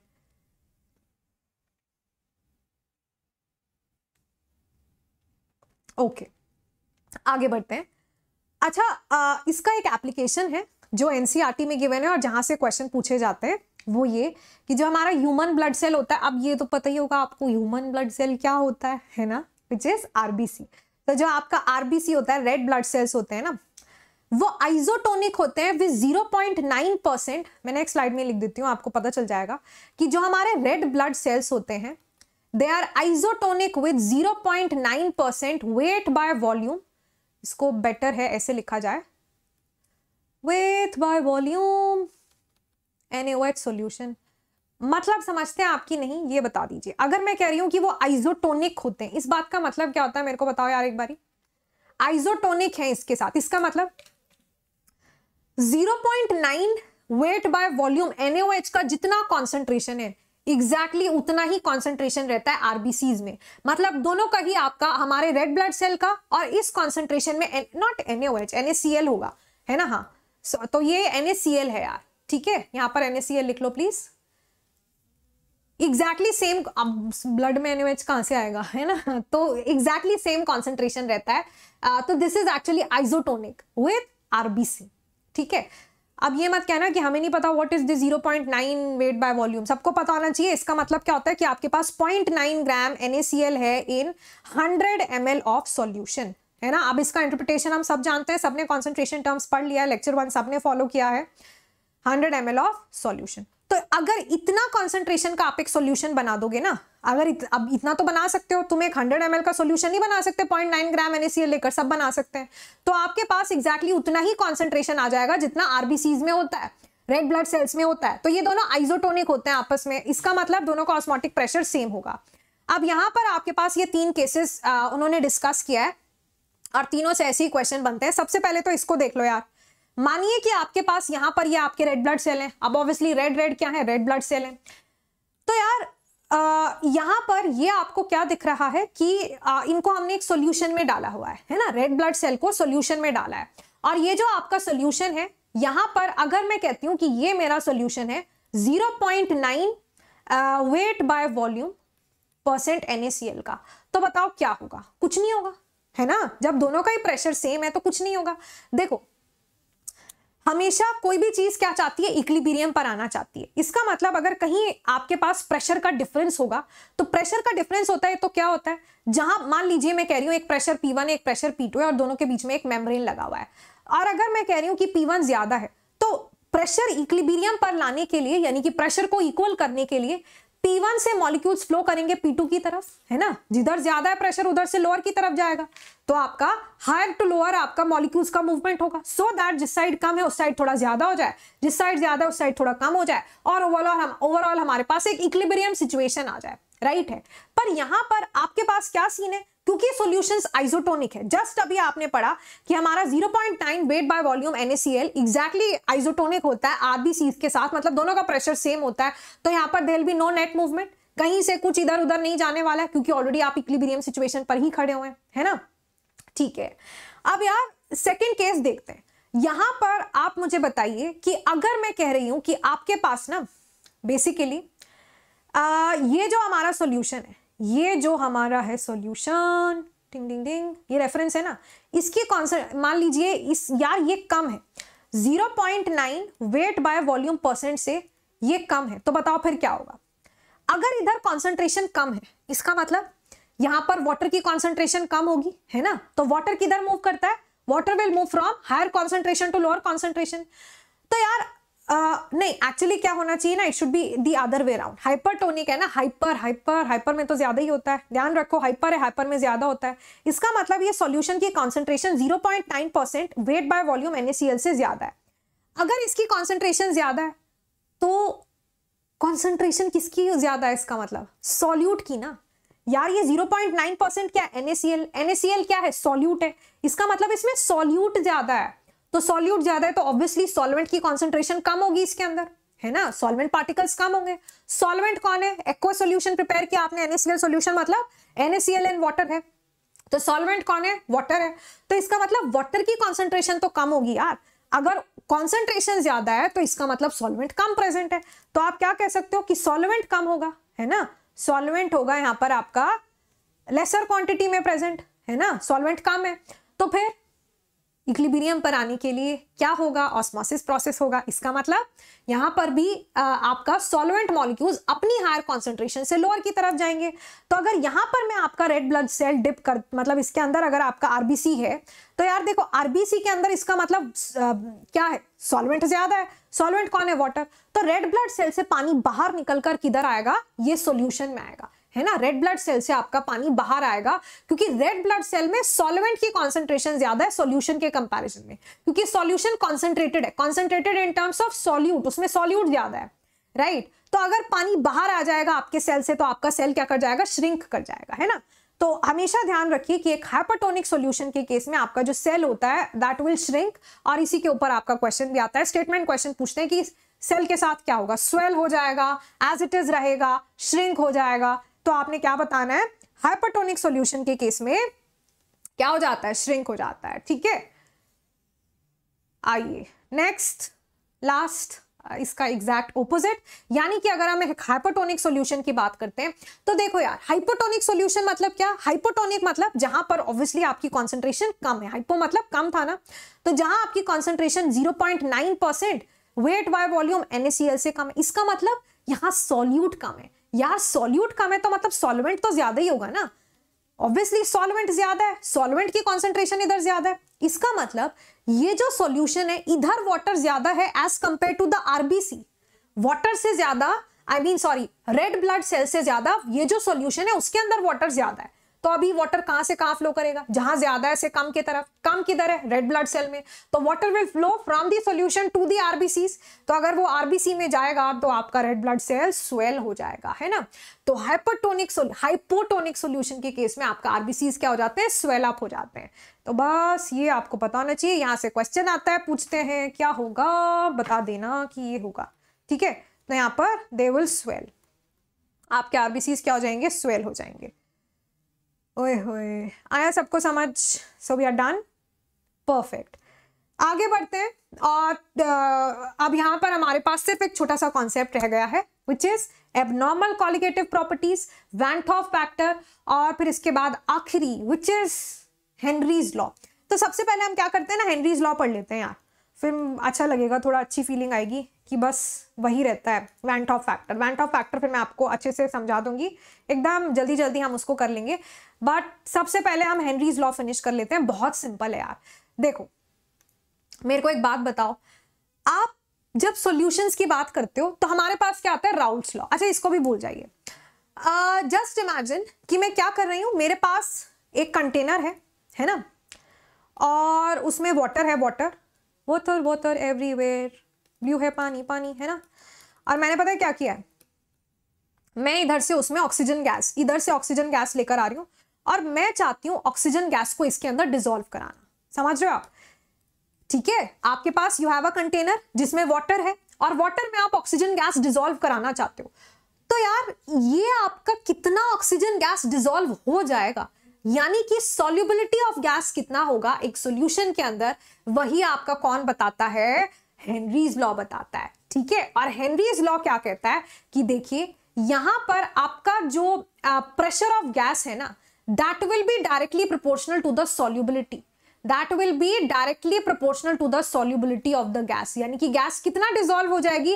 डिपेंड करता है आपने कितना प्रेशर लगाया। ये तो कॉमन सेंस है यार। एक बात बताओ, अब मैं ऊपर से अगर ज़्यादा प्रेशर लगाऊँगी, यहाँ से अगर मैं ज़्यादा प्रेशर लगाऊँगी, मैंने बहुत ज़्यादा प्रेशर लगाया हुआ इधर से, ठीक है? तो अगर मैं प्रेशर ज़्यादा लगा रही हूँ तो फिर गैस भी तो ज़्यादा डिजोल्व होगी। है ना? और जल्दी जल्दी ज़्यादा डिजोल्यूशन हो जाएगा। लेकिन अगर मैंने कम प्रेशर लगाया होगा धीरे धीरे कम गैस डिजोल्व होगी तो इसका मतलब solubility will be directly proportional to the pressure of the gas जितने प्रेशर से गैस आप डाल रहे हो, उतनी ज़्यादा वो सॉल्यूबल होते चली जाएगी। बोलिए, इतनी बात सबको क्लियर है? तो ये सिंपल सा लॉ क्या क्या होता है? हेनरीज लॉ होता है और वो आपको यही कहता है। दैट मीन्स हमारे पास अकॉर्डिंग टू हेनरीज लॉ आप देखो कितना सिंपल मैंने आपके लिए कर दिया, है ना? अकॉर्डिंग टू हेनरीज लॉ हमारे पास क्या आता है कि आपका जो प्रेशर होगा प्रेशर ऑफ़ द गैस ध्यान रखना pressure of the gas will be proportional to its solubility to the solubility of the gas बोलो जी, है ना? फिर यहाँ पर ध्यान रखिए कि एनसीआरटी में सॉल्युबिलिटी के लिए उन्होंने जो टर्म यूज़ किया है, वो है आपका मोल फ्रैक्शन क्या? Mole fraction of the gas correct और फिर जब आप ये प्रोपोर्शनैलिटी साइन रिमूव करते हैं when you remove this proportionality sign तो हमारे पास यहाँ पर कांस्टेंट आता है के एच ठीक है? और ये बन जाएगा आपके पास मोल फ्रैक्शन ऑफ़ गैस। अब क्योंकि यार हेनरीज लॉ है तो इसीलिए हमने ये ये जो आपका के है ना, इसको हमने क्या बोल दिया? हेनरीज कांस्टेंट बोल दिया, ठीक है? क्योंकि हम हेनरीज लॉ पढ़ रहे हैं तो हमने कांस्टेंट भी क्या बना दिया? Henry's constant, ding ding ding. कितना सिंपल हो गया ना? देखो, हो तो गया, है ना? Pressure of the gas is equal to K H into the mole fraction of gas अब यहाँ से न्यूमेरिकल आ जाए तो आप कर लेंगे कि नहीं? अगर आपको सॉलिबिलिटी दे दें के एच दे दें प्रेशर फाइंड आउट कर लोगे। मोल फ्रैक्शन दे दें और प्रेशर फाइंड आउट करने के लिए बोल दें, आप कर लेंगे, है ना? और लेट से किसी का आपको number of moles find out करने पड़ जाए तो भी आप कर लेंगे। आपको पता है mole fraction is equal to what right बोलिए यहाँ तक अगर आपको क्लियर है तो जल्दी से बता दो। देखो यार तो लॉ का स्टेटमेंट क्या कहता है? कि Henry's law is a gas law that states that the amount of gas dissolve in a liquid is proportional to its partial pressure above the liquid the proportionality factor is called Henry's law constant आहा अब देखो यार numerical आ जाए तो आप कर लेंगे, क्योंकि सिंपल ही आएगा डायरेक्ट वैल्यूज़ पुट करनी होंगी, ठीक है? वैसे न्यूमेरिकल मोस्टली कॉलिगेटिव प्रॉपर्टी से आता है। अब यहाँ से ना क्वेश्चन प्रीवियस ईयर में पूछा गया है तो वो मैं आपको ज़रूर बताने वाली हूँ अभी। देखो यार, मैंने आपको क्या कहा कि प्रेशर ऑफ़ गैस अगर मैं सॉल्युबिलिटी के टर्म्स में लिखती हूँ तो क्या आएगा? के एच मल्टीप्लाइड बाय सॉल्युबिलिटी आएगा कि नहीं? जल्दी से बता दो के एच मल्टीप्लाइड बाय सॉल्युबिलिटी आएगा। इसका मतलब अगर मैं आपसे पूछती हूँ के एच और सॉल्युबिलिटी के बीच रिलेशन तो मैं क्या कहूँगी? देखो, अगर मुझे सॉल्युबिलिटी फाइंड आउट करना है तो उसका एक्सप्रेशन यही तो आएगा। कहने का मतलब है, यहाँ से हम क्या कंक्लूड कर सकते हैं कि यार, हमारा जो सॉल्युबिलिटी होता है ना, आपका जो सॉल्युबिलिटी होता है that is inversely proportional to Henry's constant इस बात का मतलब क्या है? कि अगर आपका हेनरीज कांस्टेंट ज़्यादा होगा तो आपकी सॉल्युबिलिटी कम होगी, यानी कि आपकी गैस कम सॉल्युबल होगी, अगर उसका हेनरीज कांस्टेंट ज़्यादा है। मज़ा तब आएगा जब हम करेंगे इसके ऊपर एक क्वेश्चन सॉल्व है ना? अच्छा ये भी मैं स्टेटमेंट एक्सप्लेन करूँगी but then here is the question और मुझे इसका आंसर बताइए फटाफट। देखो यार क्वेश्चन मैं आपके लिए रीड आउट कर रही हूँ और प्लीज़ मुझे आंसर बताना। The value of Henry's constant for some gases at 293 kelvin is given below arrange the gases in the increasing order of their solubility तो देखिए, सबका आपको हेनरीज लॉ कॉन्स्टेंट गिवन है। हीलियम गैस के लिए, hydrogen के लिए, नाइट्रोजन के लिए, ऑक्सीजन के लिए आपने उनको, उनके करेक्ट ऑर्डर ऑफ़ सॉलिबिलिटी में अरेंज करना है। What will be the concept यानी कि आपका अप्रोच क्या रहेगा यहाँ पर? हमने अभी सीखा that KH is inversely proportional to solubility इसका मतलब जिसका केएच सबसे बड़ा होगा, उसकी सॉल्युबिलिटी सबसे कम होगी यार, है ना? तो देखो, सबसे कम सॉल्युबिलिटी किसकी होगी? जिसका केएच सबसे ज़्यादा होगा। मेरे को सबसे ज़्यादा यार ये दिख रहा है, हीलियम का दिख रहा है है ना? तुम्हें भी ऐसा ही लग रहा है क्या? हाँ जी, ऐसा ही लगना भी चाहिए, है ना? देखो, हीलियम फॉलोड बाय टिंग टिंग टिंग कौन होगा? नाइट्रोजन। फिर यार, मेरे ख्याल से हाइड्रोजन और आखिर में कौन आ जाएगा? ऑक्सीजन। तो देखिए, ढूंढिए यही तो। अरे वाह, ऑप्शन ए। देखो, ए तो हमारा वैसे भी फेवरेट है है ना? देखो, ए ही सही है, यहाँ पर आंसर भी आपका। तो ऐसा क्वेश्चन एग्ज़ाम में आ जाए, आप कर लेंगे। कहिए यस मैम है ना? कर लिया आपने ऐसा, ये क्वेश्चन अब यार एक बात और आपको पता होना चाहिए कि हेनरीज लॉ जो होता है ना that is not valid for very high pressure I mean अगर आप बहुत हाई प्रेशर अप्लाई कर दोगे तो हेनरीज लॉ नहीं लगेगा। क्योंकि ये कॉमन सेंस वाली बात होती है। देखो, मैं आपको बताती हूँ। ये सबको पता है क्यों नहीं लगेगा बट मैं आपको बता देती हूँ, आपको तभी फील आएगा, है ना? देखो यार, मेरे को एक बात बताओ। यहाँ पर मैंने आपको क्या कहा था? एक कंटेनर में आप वाटर ले लीजिए, है ना? और वाटर मैम हमने ले लिया। फिर हम यहाँ पर करेंगे ऑक्सीजन गैस को डिजोल्व मैम हम यहाँ पर ऑक्सीजन गैस डिजोल्व कर रहे हैं। आपने क्या कहा था मैम आपने कहा था कि ना, जितना प्रेशर लगाओगे, जितने प्रेशर से ऑक्सीजन गैस अंदर आएगी, देखो, जितने प्रेशर से, जितने ज़्यादा प्रेशर से अंदर आएगी, उतनी जल्दी डिजोल्व हो जाएगी, है ना? तो जितना ज़्यादा प्रेशर उतनी जल्दी डिजोल्व जितना ज़्यादा प्रेशर आप यहाँ पर अप्लाई करोगे, उतनी ज़्यादा जल्दी वो आपका डिजोल्व होते चले जाएगी। पर आप सोचिए कि एक पॉइंट होगा जहाँ पर सैचुरेशन आ जाएगा। इसका मतलब एक पॉइंट के बाद अब गैस डिजोल्व नहीं हो पाएगी, क्योंकि सॉल्वेंट में जहाँ, वहाँ जितनी स्पेस थी, जितनी उसकी कैपेसिटी थी, उसको डिजोल्व करा लेने की, उतना उसमें डिजोल्यूशन हो गया, है ना? तो उसको हम क्या बोलते हैं? सैचुरेशन प्रेशर बोलते हैं। बियॉन्ड सैचुरेशन प्रेशर आप और गैस डिजोल्व नहीं करा सकते हो, क्योंकि जितना उसके अंदर मैक्सिमम कैपेसिटी था, उतना डिजोल्यूशन हो चुका है। अब जब किसी का सैचुरेशन प्रेशर रीच हो गया सैचुरेशन प्रेशर मतलब मैक्सिमम सॉल्युबिलिटी रीच हो गई। जब ऑक्सीजन की मैक्सिमम सॉल्युबिलिटी रीच हो जाएगी, उसके बाद आप बाहर से कितना भी प्रेशर अप्लाई करो, कोई फ़र्क नहीं पड़ेगा। सोचो यार, अब आप कितना भी प्रेशर अप्लाई कर लो, उसने तो जितना डिजोल्व होना था वो हो गया, है ना? अब आप कितना भी एक्स्ट्रा प्रेशर अप्लाई करिए, कोई फ़र्क नहीं पड़ने वाला है है ना? कोई उससे सॉल्युबिलिटी नहीं बढ़ेगी, क्योंकि उसको जितना डिजोल्व होना था हो गया। मैक्सिमम सॉल्युबिलिटी रीच हो चुका है।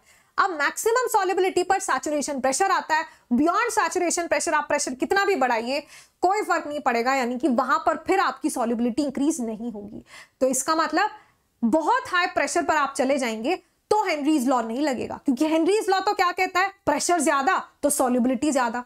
पर beyond a certain pressure which is your saturation pressure उसके बियॉन्ड अगर आप प्रेशर में चले जाएँगे तो सॉलिबिलिटी कांस्टेंट रहती है, नहीं बढ़ेगी, है ना? तो इसीलिए हम कहते हैं कि हेनरीज लॉ जो होता है that is only applicable at only applicable for certain range of pressure that means simple कि हायर प्रेशर के लिए एप्लीकेबल नहीं है।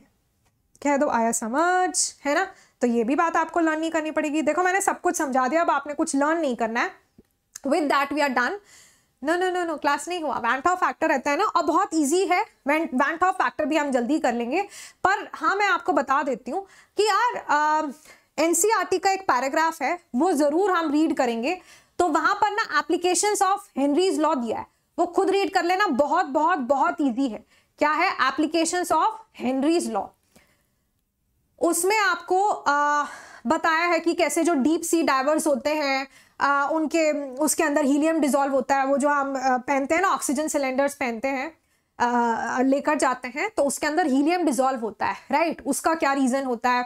और ऐसे ही दो तीन एप्लीकेशंस दिए हैं तो मेक श्योर sure कि आप रीड कर रहे हैं। एनॉक्सिया बताया है और एक ऑडेमा एक कंडीशन होती है उसके बारे में बताया है है ना? एनॉक्सिया सबको पता है बहुत हायर ऑल्टीट्यूड्स पर हम जाते हैं तो क्या होता है?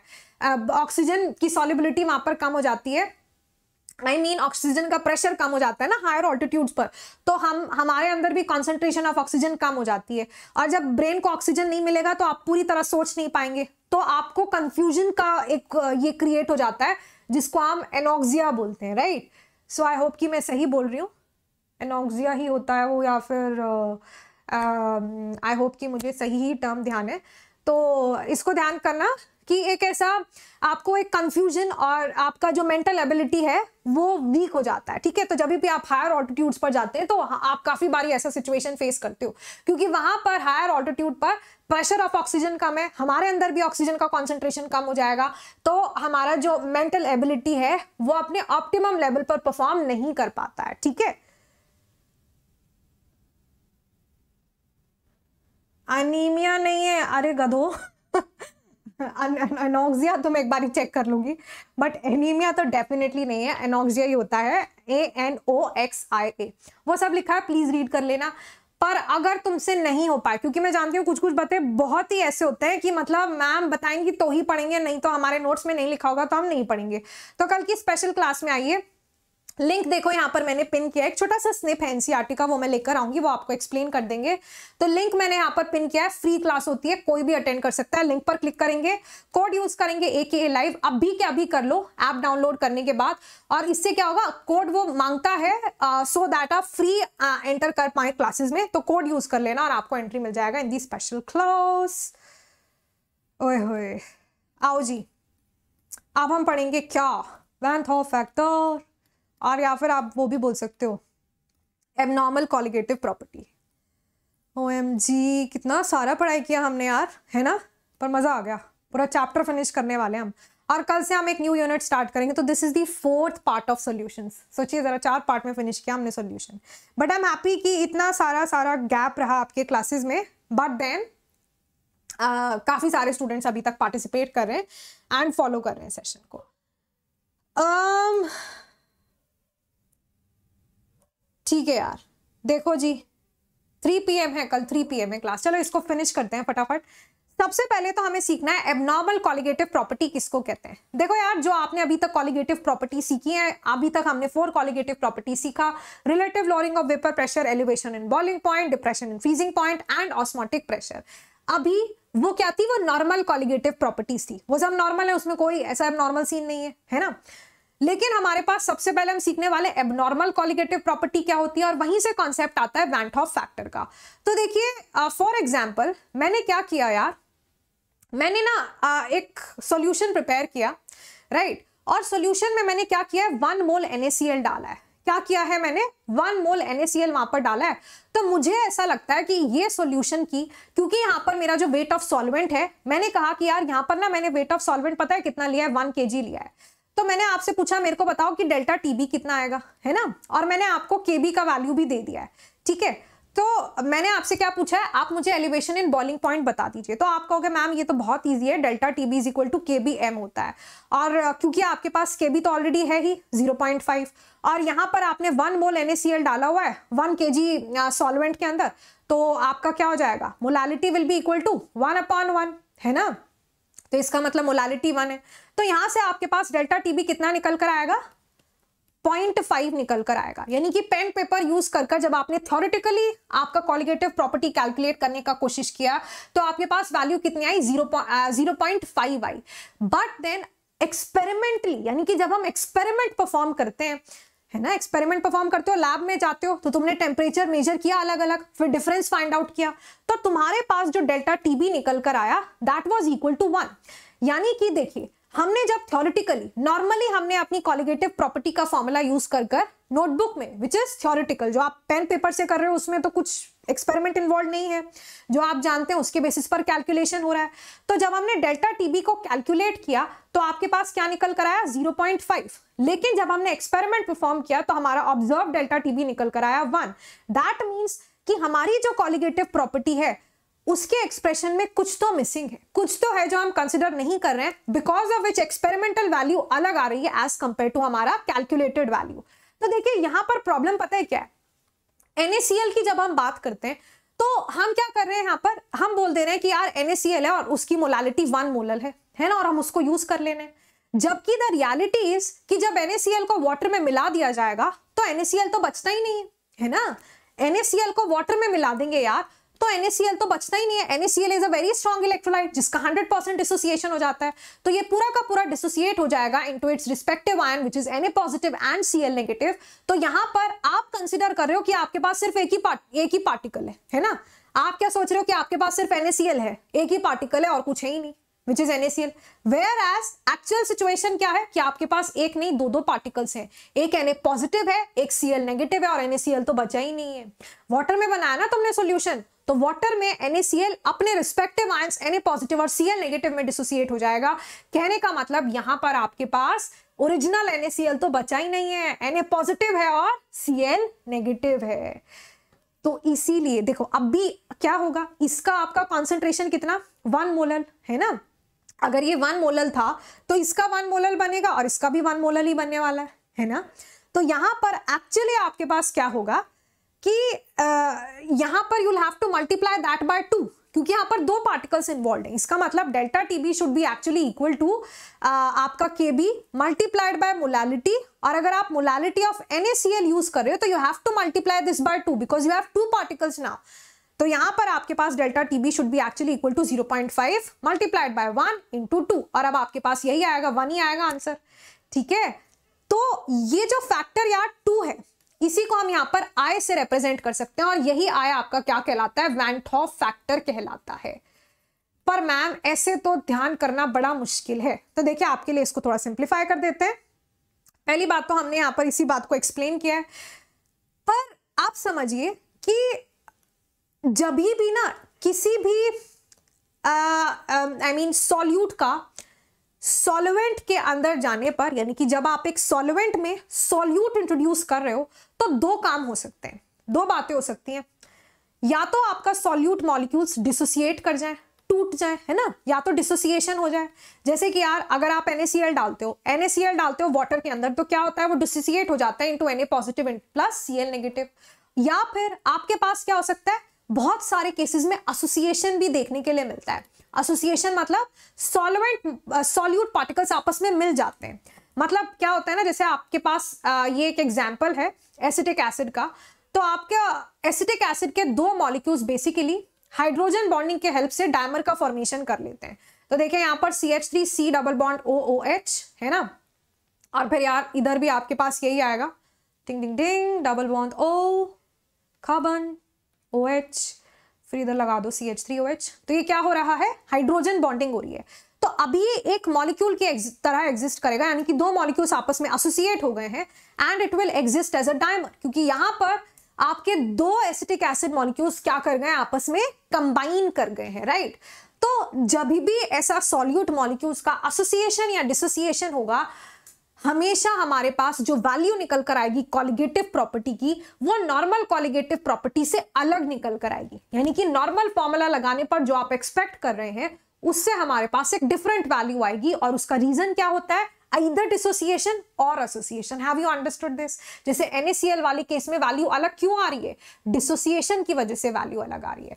ठीक है? तो अभी वेंटॉफ फैक्टर क्या होता है, कैसे कैलकुलेट करते हैं, उसको अपने दिमाग से निकाल दो। मैंने आपको बताया ही नहीं। अभी मैं आपको क्या सिखाने की कोशिश कर रही हूँ कि हमारे पास एबनॉर्मल कॉलिगेटिव प्रॉपर्टी हम किसको कहते हैं? जब भी आपका सॉल्यूट अंडरगोज डिसोसिएशन और association in a solvent then the actual value will be different from the expected value ठीक है? तो जो आप एक्सपेक्ट कर रहे हैं अपनी नॉर्मल कॉलिगेटिव के एक्सप्रेशन से, उससे हमारी वैल्यू अलग आएगी और वो जो अलग आ रही वैल्यू होगी, उसी को हम क्या कहते हैं? एबनॉर्मल कॉलिगेटिव प्रॉपर्टी क्योंकि नॉर्मल एक्सप्रेशन से तो नहीं आया। तो जो अलग आया that will be refer to as the abnormal colligative property अब एबनॉर्मल कॉलिगेटिव प्रॉपर्टी कैसे हम आसानी से कैलकुलेट कर सकते हैं? क्योंकि यार देखो दिस इज़ नॉट पॉसिबल ना कि मैं हर एक केस में बार बार पहले थ्योरिटिकल चेक करूँ, फिर नॉर्मल चेक फिर मतलब एक्सपेरिमेंट परफॉर्म करूँ। बेटर है I mean this is not practical कि हर बार आप एक्सपेरिमेंट परफॉर्म करें। और आपके एग्ज़ाम में क्वेश्चन आएगा तो तुम एक्सपेरिमेंट तो नहीं कर कर देखोगे ना तो आपके पास कोई तरीका होना चाहिए सच दैट हमारा जो नॉर्मल कॉलिगेटिव प्रॉपर्टीज़ का एक्सप्रेशन है उसी में हम कुछ मॉडिफिकेशन कर दें सो so दैट हमारे पास राइट right वैल्यू ही आए। जो आनी चाहिए, जो एक्सपेरिमेंटली आनी चाहिए, वही वैल्यू हमारे पास निकल कर आए। तो उसके लिए ही हमारे पास आता है वैंटॉफ फैक्टर तो देखिए वैंटॉफ फैक्टर सबसे पहले तो आप कैसे डिफाइन कर सकते हो? जो भी आपकी अब नॉर्मल कॉलिगेटिव प्रॉपर्टी आ रही है डिवाइड कर दो बाय दी नॉर्मल या फिर थ्योरिटिकल कॉलिगेटिव प्रॉपर्टी जैसे एनएसीएल वाले केस में अब नॉर्मल क्या आई थी? वन नॉर्मली क्या आ रही थी? पॉइंट फाइव तो आपके पास यहाँ से क्या आ जाएगा? टू तो वैंट ऑफ़ फैक्टर क्या बन जाता है? टू सिंपल है। अच्छा फिर आपके पास, मानिए कोई भी सॉल्यूट है है ना? अच्छा देखो, यहाँ पर एसिटिक एसिड और बेंजोइक एसिड का वही बताया कि डायमराइजेशन हो जाता है हाइड्रोजन बॉन्डिंग से बिकॉज़ ऑफ़ विच उनका मोलर मास ही बदल जाता है यार।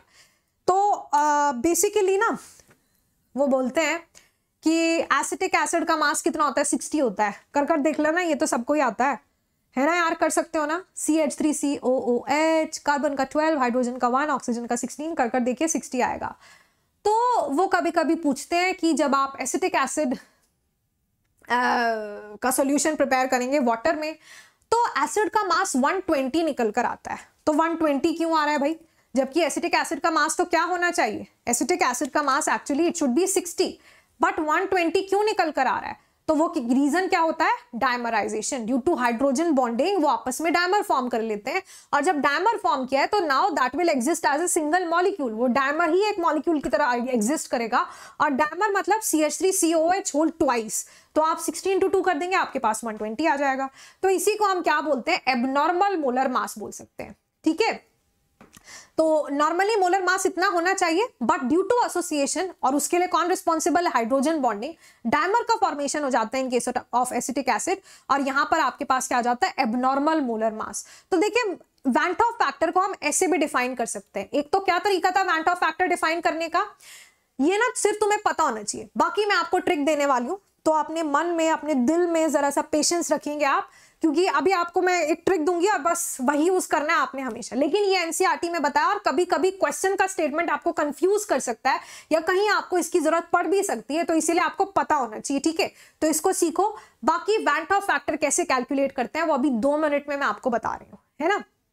देखो यार तो हमारे पास ये जो वैंट ऑफ़ फैक्टर होता है this is actually equal to क्या बताया था मैंने अभी आपको? Abnormal colligative property by normal colligative property या experimental value by the observed value या फिर आप यहाँ पर क्या लिख सकते हो? Abnormal molar mass abnormal molar mass divided by the normal molar mass ऐसे भी हम अपना वैंट ऑफ़ फैक्टर कैलकुलेट कर सकते हैं। जैसे एसिटिक एसिड वाले केस में क्या आया? 120 नॉर्मल क्या होता है? 60 value will be 2 what will be the van't Hoff factor का वैल्यू टू ठीक है। फिर देखिए, हमारे पास क्या होता है? अगर आपने कभी भी, जितने भी अभी तक हमारे पास एग्ज़ाम में केसेस आए हैं ना, हमेशा ही वहाँ पर मैक्सिमम डिसोसिएशन का केस होता है। और हमारे लिए जो रेलेवेंट है, वो होता है आपका स्ट्रॉन्ग इलेक्ट्रोलाइट का केस है ना? मैक्सिमम एग्ज़ाम में स्ट्रॉन्ग इलेक्ट्रोलाइट ही देते हैं। तो अगर आपको एक स्ट्रॉन्ग इलेक्ट्रोलाइट गिवन है, इसका मतलब क्या होता है कि उसका हंड्रेड परसेंट डिसोसिएशन हो जाएगा। बोलिए, है ना? स्ट्रॉन्ग इलेक्ट्रोलाइट मतलब उसका हंड्रेड परसेंट डिसोसिएशन हो जाएगा। तो हम क्या कहते हैं? लेट्स से वी हैव NaCl NaCl का क्या होता है? डिसोसिएशन तो क्या आएगा आपके पास? Na positive plus Cl negative है ना?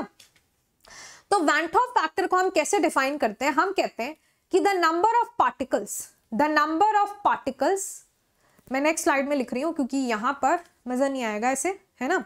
देखो वैंट ऑफ़ फैक्टर को हम कैसे डिफाइन करते हैं? The number of particles the number of particles आगे बताइए। The number of particles before I mean after dissociation और association the number of particles after dissociation slash association ding ding ding divided by divided by number of particles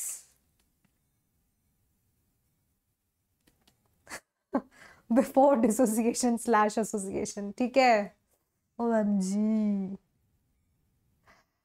before dissociation slash कितना बड़ा हो गया यार लिखने के लिए, है ना? एसोसिएशन अब ये बहुत सिंपल है। अब भाई एन को ही देख लो। डिसोसिएशन हो रहा है। N A positive plus C L negative formula इतना बड़ा है, पर बात बहुत छोटी सी है। आए। बताइए पार्टिकल कितने हैं तुम्हारे पास आफ्टर डिसोसिएशन एक एन ए पॉजिटिव एक सी एल नेगेटिव दो हो गया, और यहाँ पर क्या आएगा? वन टू बाय वन आ गया कि नहीं? Van't Hoff factor is equal to two two आ जाएगा। है ना? बोलो बोलो। यस मैम तो यहाँ पर van't Hoff factor will be equal to two और याद करिए एनएसीएल के लिए टू ही आ रहा था। अच्छा कहीं एसोसिएशन हो जाए अगर, जैसे कि आपके पास एसिटिक एसिड वाले केस में क्या होता है? दो एसिटिक एसिड मॉलिक्यूल्स आपस में कंबाइन कर जाते हैं और फिर आपके पास एक ही मॉलिक्यूल रह जाता है। है ना? तो यहाँ क्या हो गया? आपके पास पार्टिकल्स आफ्टर एसोसिएशन कितने हैं? आफ्टर एसोसिएशन तो एक ही बच रहा है। और बिफोर एसोसिएशन कितने थे? टू तो क्या आएगा? ज़ीरो पॉइंट फाइव तो हमेशा ध्यान रखिए, जब भी डिसोसिएशन होगा, जब भी क्या होगा? डिसोसिएशन होगा तो हमेशा ही जो हमारा वैंट ऑफ़ फैक्टर आता है, उसकी वैल्यू ग्रेटर देन वन आती है। और जहाँ जहाँ एसोसिएशन होगा, क्या होगा? मॉलिक्यूल्स आपस में एसोसिएट हो जाएँगे। तो वहाँ पर आपकी जो वैंट ऑफ़ फैक्टर की वैल्यू आएगी that will be less than one कभी कभी ऐसा पूछ लेते हैं तो आपको पता होना चाहिए। ठीक है यार अब मेरे को एक क्वेश्चन सॉल्व कर कर दिखा दो तुम। um, हाँ जी उसके बाद क्या होता है कि हमारी जो कॉलिगेटिव प्रॉपर्टीज़ हैं I mean before we move on to a question ये देख लो आप कि जो हमारी कॉलिगेटिव प्रॉपर्टीज़ हैं उनको अब हम इस तरह से मॉडिफाई कर सकते हैं। यानी कि हर एक कॉलिगेटिव प्रॉपर्टी में आप आई लगा दो आई को इंट्रोड्यूस कर दो which is your van't Hoff factor बस हो गया। ठीक है? समझ रहे हैं आप? हर एक कॉलिगेटिव प्रॉपर्टी में आप van't Hoff factor I introduce कर देंगे तो आपके पास क्या आ जाएगी? कॉलिगेटिव प्रॉपर्टी आ जाएगी जो आनी चाहिए। मतलब कि नॉर्मल कॉलिगेटिव प्रॉपर्टी आ जाएगा। देखो सेम ही एक्सप्रेशन लिखा है, कुछ भी अलग नहीं हुआ है, सबका एज इट इज़ एक्सप्रेशन लिखिए, और फिर आप आई से मल्टीप्लाई कर दो दैट्स इट अब यार, ये क्वेश्चन का आंसर बता दो मेरे को फटाफट। जल्दी से what will be the answer to this question जल्दी से बताएँगे so we have three questions तीनों क्वेश्चंस के साथ आपका कॉन्सेप्ट चेक uh, भी हो जाएगा और नई बात आप सीख भी लेंगे। जल्दी से बताइए। और इसी के साथ जितने स्टूडेंट्स अब भी हमारे साथ ये सेशन में लाइव पार्टिसिपेट कर रहे हैं make sure you have hit the like button और सबने सेशन को लाइक किया है। बोलिए।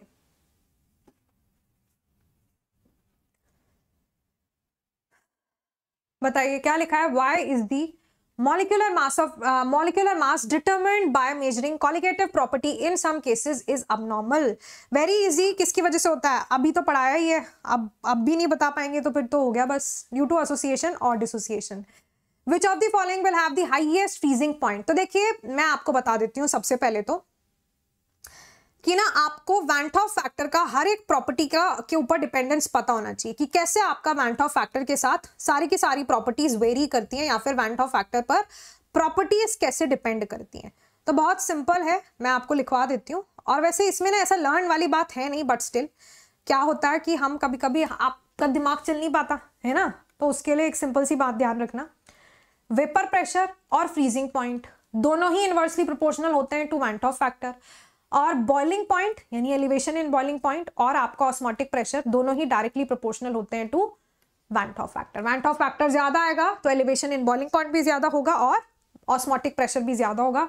और अगर आपके पास वैंट ऑफ़ फैक्टर ज़्यादा होगा तो मतलब वेपर प्रेशर और फ्रीजिंग पॉइंट कम आएगा, ठीक है? अब देखो फ्रीजिंग पॉइंट के बारे में पूछा है। फ्रीजिंग पॉइंट हाईएस्ट किसका होगा?